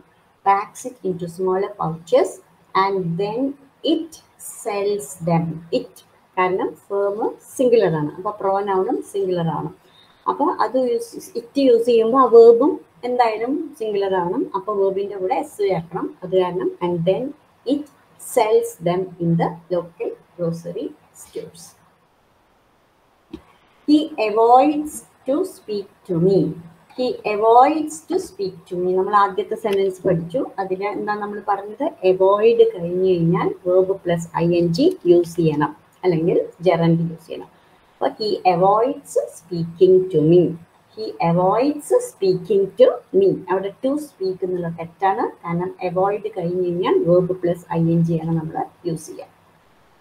Three people were arrested by the police but one released അപ്പൊ ത്രീ പീപ്പിൾ വേർ അറസ്റ്റഡ് മൂന്ന് ആൾക്ക് പാസ്റ്റൻസ് ആണ്. അതൊക്കെ കഴിഞ്ഞു പോയ സംഭവങ്ങളായ കാരണം പാസ്റ്റൻസ് ആണ്. അപ്പോൾ മൂന്ന് പേര് അറസ്റ്റ് ചെയ്തു. അപ്പോൾ പീപ്പിൾ പ്ലൂരൽ ആയ കാരണം നമ്മളവിടെ വേർ എന്ന് യൂസ് ചെയ്തു. Three people were arrested by the police അല്ലെ ഒരാളെ റിലീസ് ചെയ്തു. ബട്ട് വൺ റിലീസ്ഡ് എന്ന് പറഞ്ഞാൽ തെറ്റാണ്. ആ വണ്ണിനും അവിടെ ഒരു വേർബ് വേണം. ത്രീ പീപ്പിളുടെ നമ്മൾ പ്ലൂരൽ വെർബ് യൂസ് ചെയ്താൽ വൺ ഒന്ന് എന്നുള്ളതിന് അവിടെ സിംഗുലർ വെർബ് യൂസ് ചെയ്യണം. അപ്പോൾ പാസ്റ്റ് ടെൻസിൽ സിംഗുലർ വെർബ് വണ്ണിന് ഉണ്ടായിരിക്കും was but one was released three people were arrested by the police but one was released but one release എന്ന് വെച്ചാൽ മീനിങ്ലെസ് ആണ്. അവിടെ വേബ് ഇല്ലാണ്ട സെന്റൻസ് ഗ്രമാറ്റിക്കലി കറക്റ്റ് ആവില്ല. അതുകൊണ്ട് വൺ സിംഗുലർ ആയ കാരണം അവിടെ ഒരു സിംഗുലർ വേബ് യൂസ് ചെയ്യണം was but one was released yesterday I found it that my friend stole the money from my purse yesterday I found it that my friend stole the money from my purse ഇവിടെ found it എന്നുള്ള verb തെറ്റാണ്. ഈ founded എന്നുള്ളതിന് ഒരു വേർഡാണത് word founded എന്ന് പറഞ്ഞിട്ടൊരു word ഉണ്ട്. അതിന്റെ അർത്ഥം കംപ്ലീറ്റ്ലി ഡിഫറെന്റ് ആണ്. അതിന്റെ അർത്ഥം എന്താണ്? ഹി ഫൗണ്ടഡ് ദ ഇൻസ്റ്റിറ്റ്യൂഷൻ എന്ന് പറഞ്ഞു വെച്ചാൽ അയാൾ ആ ഇൻസ്റ്റിറ്റ്യൂഷൻ തുടങ്ങി. Founded founded founded founded founding father എന്നൊക്കെ പറയും. ആരാണോ ആ ഇൻസ്റ്റിറ്റ്യൂഷൻ തുടങ്ങിയത്? അയാളെയാണ് ഫൗണ്ടഡ് ഹി ഫൗണ്ടഡ് അയാളാണ് അയാളെ അയാളുടെ ആ ഒരു ഇതിനെയാണ് ഫൗണ്ടഡ് എന്ന് പറയാം. ആ ഇൻസ്റ്റിറ്റ്യൂഷൻ എന്തെങ്കിലും പിന്നെ ചാരിറ്റബിൾ ഇൻസ്റ്റിറ്റ്യൂഷൻ കോളേജസ് ഇൻസ്റ്റിറ്റ്യൂഷൻസ് പിന്നെ അങ്ങനത്തെ ഓരോ കാര്യങ്ങളും നമ്മൾ ചെയ്യൂലോ അല്ലെങ്കിൽ അത് കണ്ടുപിടിക്കുന്ന ആൾ അല്ലെങ്കിൽ തുടങ്ങണ ആളെയാണ് ഫൗണ്ട് ഫൗണ്ടഡ് അത് തുടങ്ങണ ആ ഒരു ആക്ഷനെയാണ് ഫൗണ്ടഡ് എന്ന് പറയാം. ഇവിടെ yesterday I founded that my friend stole the money from my purse അവിടെ ഫൗണ്ട് ഇറ്റ് എന്ന് പറഞ്ഞാൽ എന്താണ് അർത്ഥം? ഈ ഒരു സെന്റൻസിൽ ഞാൻ കണ്ടുപിടിച്ചു എന്നുള്ളതാണ്. ആ, അപ്പൊ ഫൈൻഡ് എന്നുള്ളത് ടു ലുക്ക് ഫോർ സംതിങ് എന്നുള്ളതാണ്. ടു ലുക്ക് ഫോർ സംതിങ് എന്നുള്ളതാണ് ഫൈൻഡ് എന്നുള്ളതിന്റെ അർത്ഥം. I am I did not find my purse എന്ന് പറയും. I did not I look everywhere but I did not find my purse എനിക്കത് കാണാൻ പറ്റിയില്ല. അപ്പോൾ ഫൈൻഡ് എന്നുള്ളത് ടു ലുക്ക് ഫോർ സംതിങ് എന്നുള്ള അർത്ഥമാണ് ഫൈൻഡ് എന്നുള്ളതിന് വരിക. അപ്പൊ അതിന്റെ പാസ്റ്റ് ടെൻസ് എന്താണ്? ഫൗണ്ട് അതിന്റെ പാസ്റ്റ് ടെൻസ് ഫൗണ്ട് ആണ്. പാർട്ടിസിപ്പിൾ പാർട്ടിസിപ്പിളും ഫൗണ്ടഡ് ആണ്. I have found her I had found her എന്നൊക്കെ പറയും. ഓക്കെ അപ്പോൾ ഫൈൻഡ് അതായത് കണ്ട് കണ്ട- കാണ- കണ്ടുപിടിക്കുക. To search for something to look for something എന്നുള്ളത് ഉള്ള അർത്ഥത്തിലാണ് നോർമലി നമുക്ക് സെന്റൻസിൽ വരിക. അപ്പൊ അതിന്റെ പാസ്റ്റ് ടെൻസും പാർട്ടിസിപ്പിൾ ഫോം ഒക്കെ ഫൗണ്ട് ആണ്. ഫൗണ്ടഡ് അല്ല. ഫൗണ്ടഡ് എന്ന് പറയുമ്പോൾ ആ വേർഡിന് കംപ്ലീറ്റ്ലി ഡിഫറെന്റ് മീനിങ് ആണ്. ഫൗണ്ടഡ് എന്ന് പറഞ്ഞാൽ person who starts something a person who starts an institution or organisation is known as founded ഒരു ഓർഗനൈസേഷൻ അല്ലെങ്കിൽ ഇൻസ്റ്റിറ്റ്യൂഷൻ തുടങ്ങുന്ന ആളെയാണ് അല്ലെങ്കിൽ തുടങ്ങുന്ന ആ ഒരു ആക്ഷനെയാണ് നമ്മൾ ഫൗണ്ടഡ് എന്ന് പറയാം. അപ്പൊ ഇവിടെ യെസ്റ്റർഡേ ഐ ഫൗണ്ട് ഞാൻ കണ്ടുപിടിച്ചു പാസ്റ്റ് ടെൻസ് ഫൈൻഡിന്റെ പാസ്റ്റ് ടെൻസ് ഫൗണ്ട് ആണ് ഫൗണ്ടഡ് അല്ല അപ്പോൾ yesterday I found that my friend stole the money from my purse In many Asian countries, people are hung till death in public areas in order to spread fear. In many Asian countries, people are hung till death. ഇവിടെ hung till death എന്ന് പറഞ്ഞാൽ തെറ്റാണ് കാരണം നമ്മളൊരു ഇത് ഒരു ഇതൊക്കെ ഉണ്ടല്ലോ ക്ലാസ് പിക്ചേഴ്സ് അല്ലെങ്കിൽ അങ്ങനത്തെ എന്തെങ്കിലും ഒരു കാര്യം നമ്മൾ എവിടെയെങ്കിലും തൂക്കുകയാണ് ചുമരുക തൂക്കുകയാണെങ്കിൽ നമുക്ക് ഹാങ് എന്ന് പറയാം. ഐ ഹാവ് അപ്പം നമുക്ക് പറയാം ഐ ഹാവ് ഹാങ് പാസ്റ്റ് ടെൻസിൽ പറയുകയാണെങ്കിൽ I hang the picture on the wall yesterday ഞാൻ ഇന്നലെ ആ പിക്ചർ വാളിന്റെ മുകളിൽ ഹാങ് ചെയ്തു.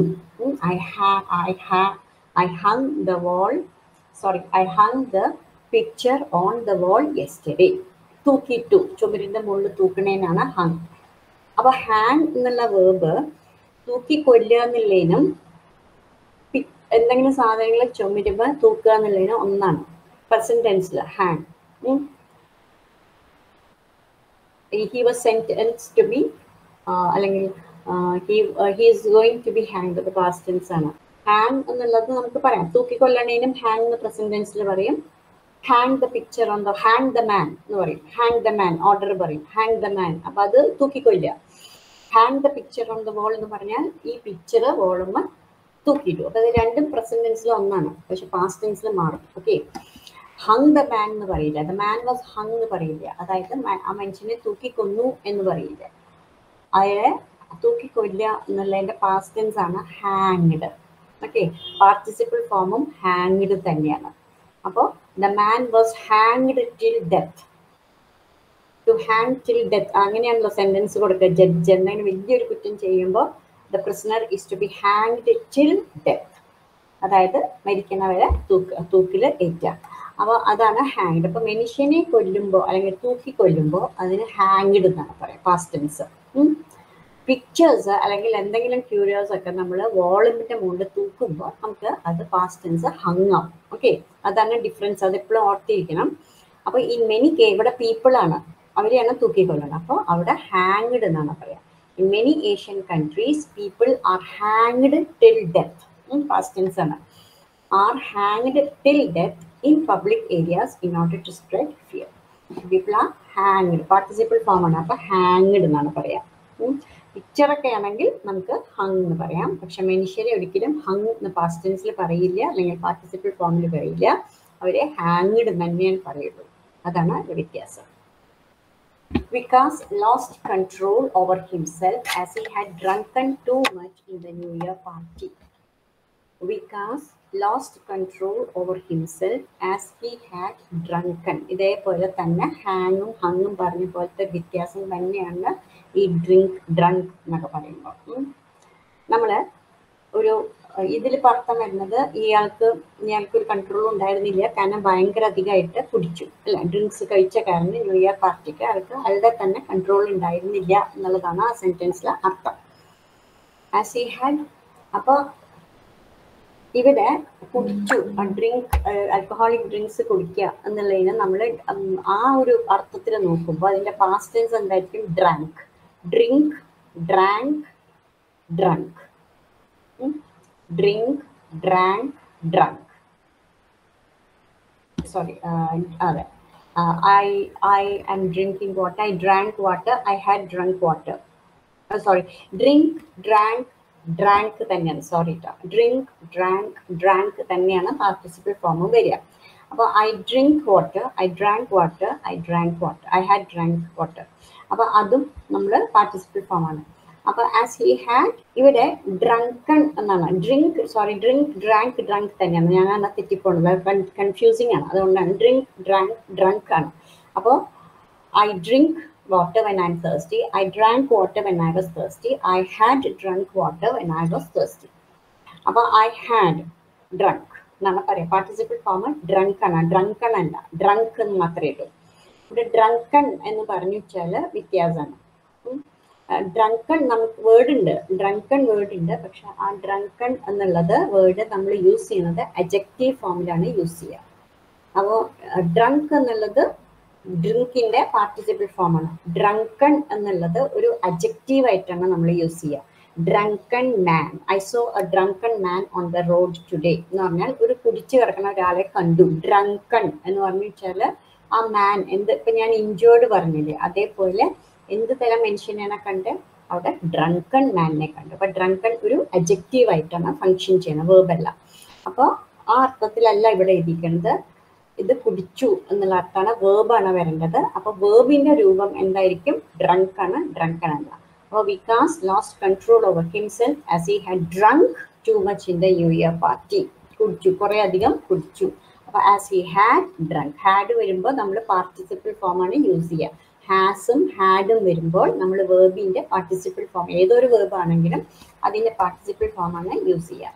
അപ്പോൾ Vikas lost control over himself as he had drunk too much in the new year party drink drank drunk ആണ് ഡ്രങ്കൺ വ്യത്യാസമുണ്ട്. ഡ്രങ്കൺ അജക്റ്റീവ് ആയിട്ടാണ് യൂസ് ചെയ്യുക. ഡ്രങ്കൺ മാൻ ഡ്രങ്കൺ ഇങ്ങനെയാണ് ഡ്രങ്കൺ പോലീസ് എന്നൊക്കെ പറയാം.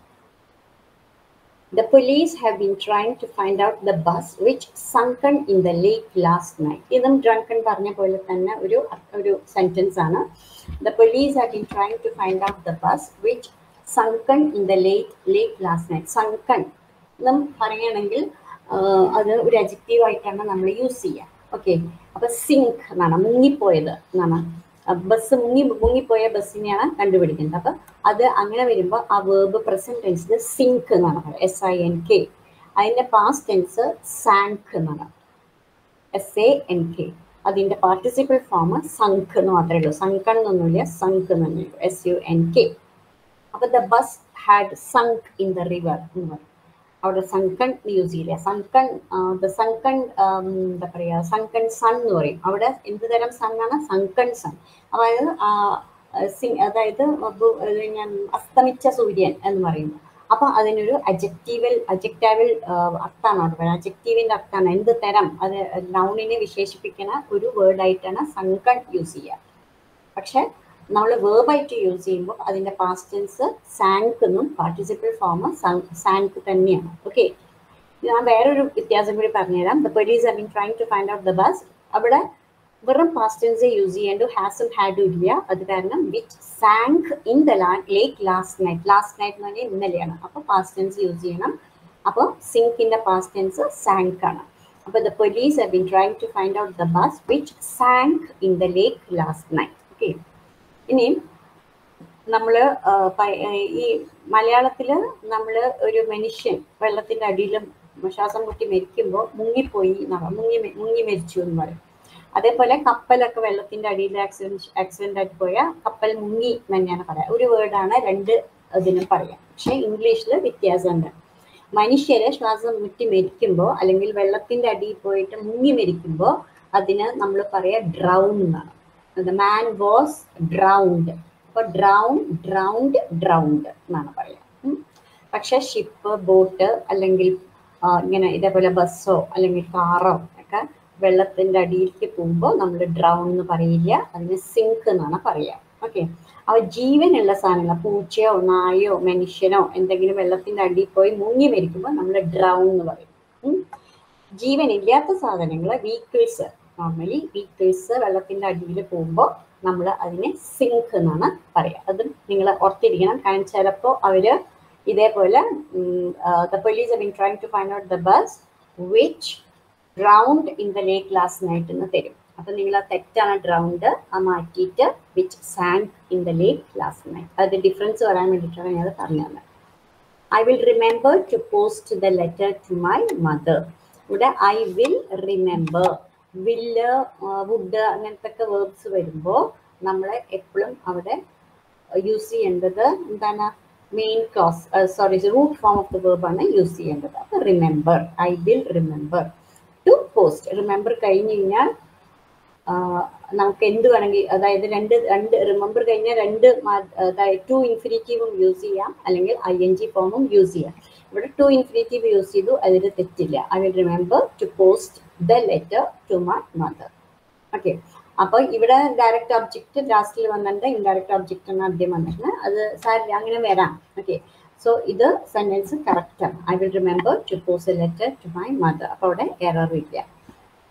Everyone knew that he lied about not knowing to drive a motorcycle. Everyone knew that he lied about not knowing to drive a motorcycle.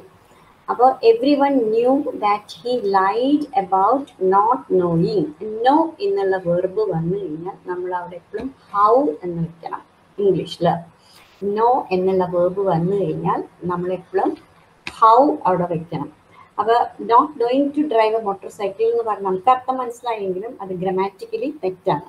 അപ്പോൾ everyone knew that he lied about not knowing how to drive a motorcycle I know how to do the sum i know how to cook i know how to drive a two wheeler app എപ്പോഴും know കഴിഞ്ഞു കഴിഞ്ഞാൽ how വയ്ക്കണം okay everyone knew that he lied about not knowing how to drive a motorcycle. I had better studied than play with my friends. ഇവിടെ had better എന്നുള്ളത് ഒരു സ്ട്രക്ചറാണ് had better ഈ had better വെച്ച് കഴിഞ്ഞാൽ പിന്നെ നമ്മൾ root form of the verb ആണ് യൂസ് ചെയ്യുക I had better study than play with my friends I had better do the sum or else my teacher will scold me. I had better do the sum.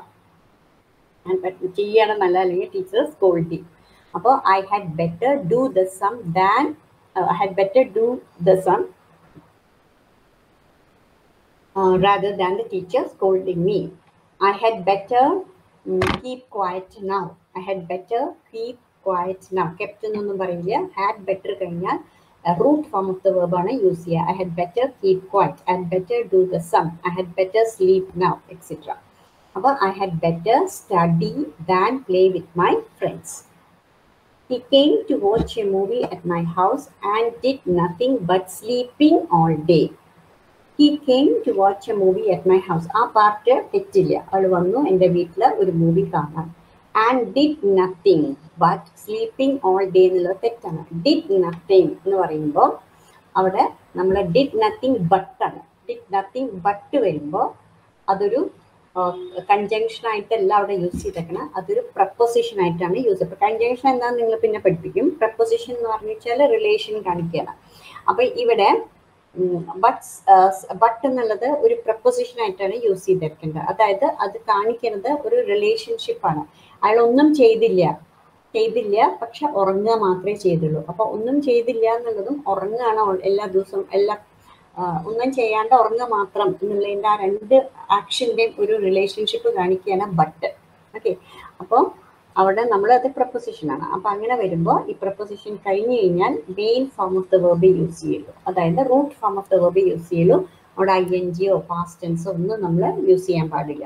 But slept all day nothing but slept all day എന്ന് പറഞ്ഞാൽ തെറ്റാണ്. അതിന്റെ root form എന്താണ്? സ്ലീപ്പിങ്ങിന്റെ സ്ലീപ്പാണ് അപ്പൊ and did nothing but sleep all day എന്താണെന്ന് വെച്ചാൽ ബട്ട് എന്നുള്ളത് ഒരു പ്രപ്പോസിഷൻ ആയിട്ടാണ് യൂസ് ചെയ്തേക്കേണ്ടത് അപ്പോൾ he came to watch a movie at my house and did nothing but sleep all day but പ്രപ്പോസിഷനായിട്ട് use ചെയ്യുമ്പോൾ നമ്മൾ അവിടെ എന്താ യൂസ് ചെയ്യേണ്ടത്?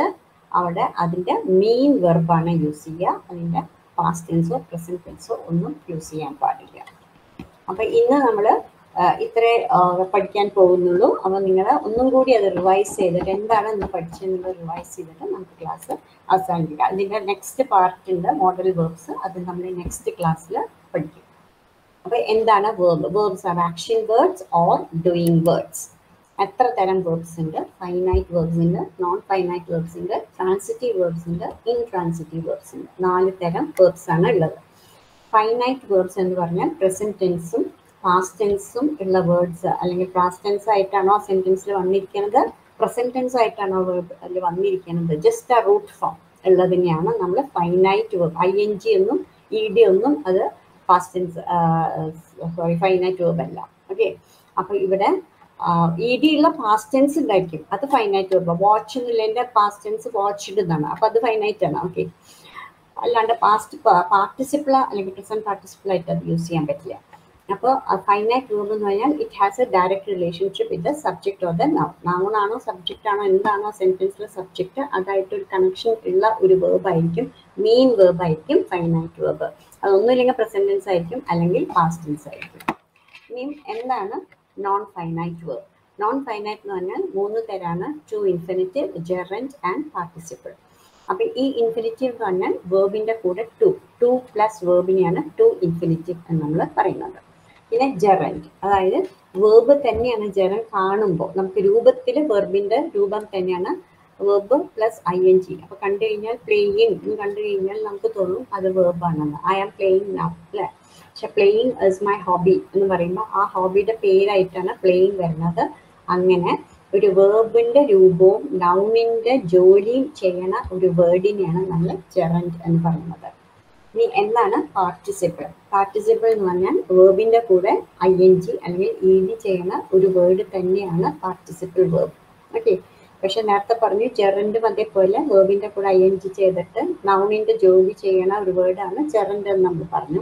ഇവിടെ പക്ഷെ വേർബിന്റെ കൂടെ ഐ എൻ ജി അല്ലെങ്കിൽ ഇ ഡി ചേർത്തിട്ട് അഡ്ജക്റ്റീവിന്റെ ജോലി ചെയ്യണതാണ് പാർട്ടിസിപ്പിൾ ഇനി എന്താണ് ട്രാൻസിറ്റീവ് വേർബ്സ് എന്താണ് ഇൻട്രാൻസിറ്റീവ് വേർബ്സ് ട്രാൻസിറ്റീവ് വേർബ്സ് എന്ന് പറഞ്ഞാൽ ഒരു വേർഡിന്റെ ഒരു വേർബിന് ഒരു ഒബ്ജക്റ്റ് ഉണ്ടാവണം. അങ്ങനെ വേർബിന് ഒബ്ജക്റ്റ് വേണം അല്ലെങ്കിൽ അതിന്റെ മീനിങ് ക്ലിയർ ആവില്ല എന്നുണ്ടെങ്കിൽ അത് ട്രാൻസിറ്റീവ് വേർബാണ് ഈ ചില സെന്റൻസസിൽ ഒബ്ജക്റ്റ് ഇല്ലാണ്ട് തന്നെ ആ വേർബ് മീനിങ് ഫുൾ ആയിരിക്കും. അതിനെയാണ് നമ്മൾ ഇൻട്രാൻസിറ്റീവ് വേർബ് എന്ന് പറയുന്നത്. പിന്നെ നമുക്ക് വേർബ് ആയിട്ട് ചിലപ്പോൾ ഡയറക്റ്റ് ഒരു സെന്റൻസിൽ ചിലപ്പോൾ ഡയറക്റ്റ് ഒബ്ജക്റ്റ് ഉണ്ടാവും ഇൻഡയറക്റ്റ് ഒബ്ജക്റ്റ് ഉണ്ടാവും. ഡയറക്റ്റ് ഒബ്ജക്റ്റ് എപ്പോഴും ഒരു ഇന്നാനിമേറ്റ് അല്ലെങ്കിൽ ജീവനില്ലാത്തൊരു സാധനമായിരിക്കും.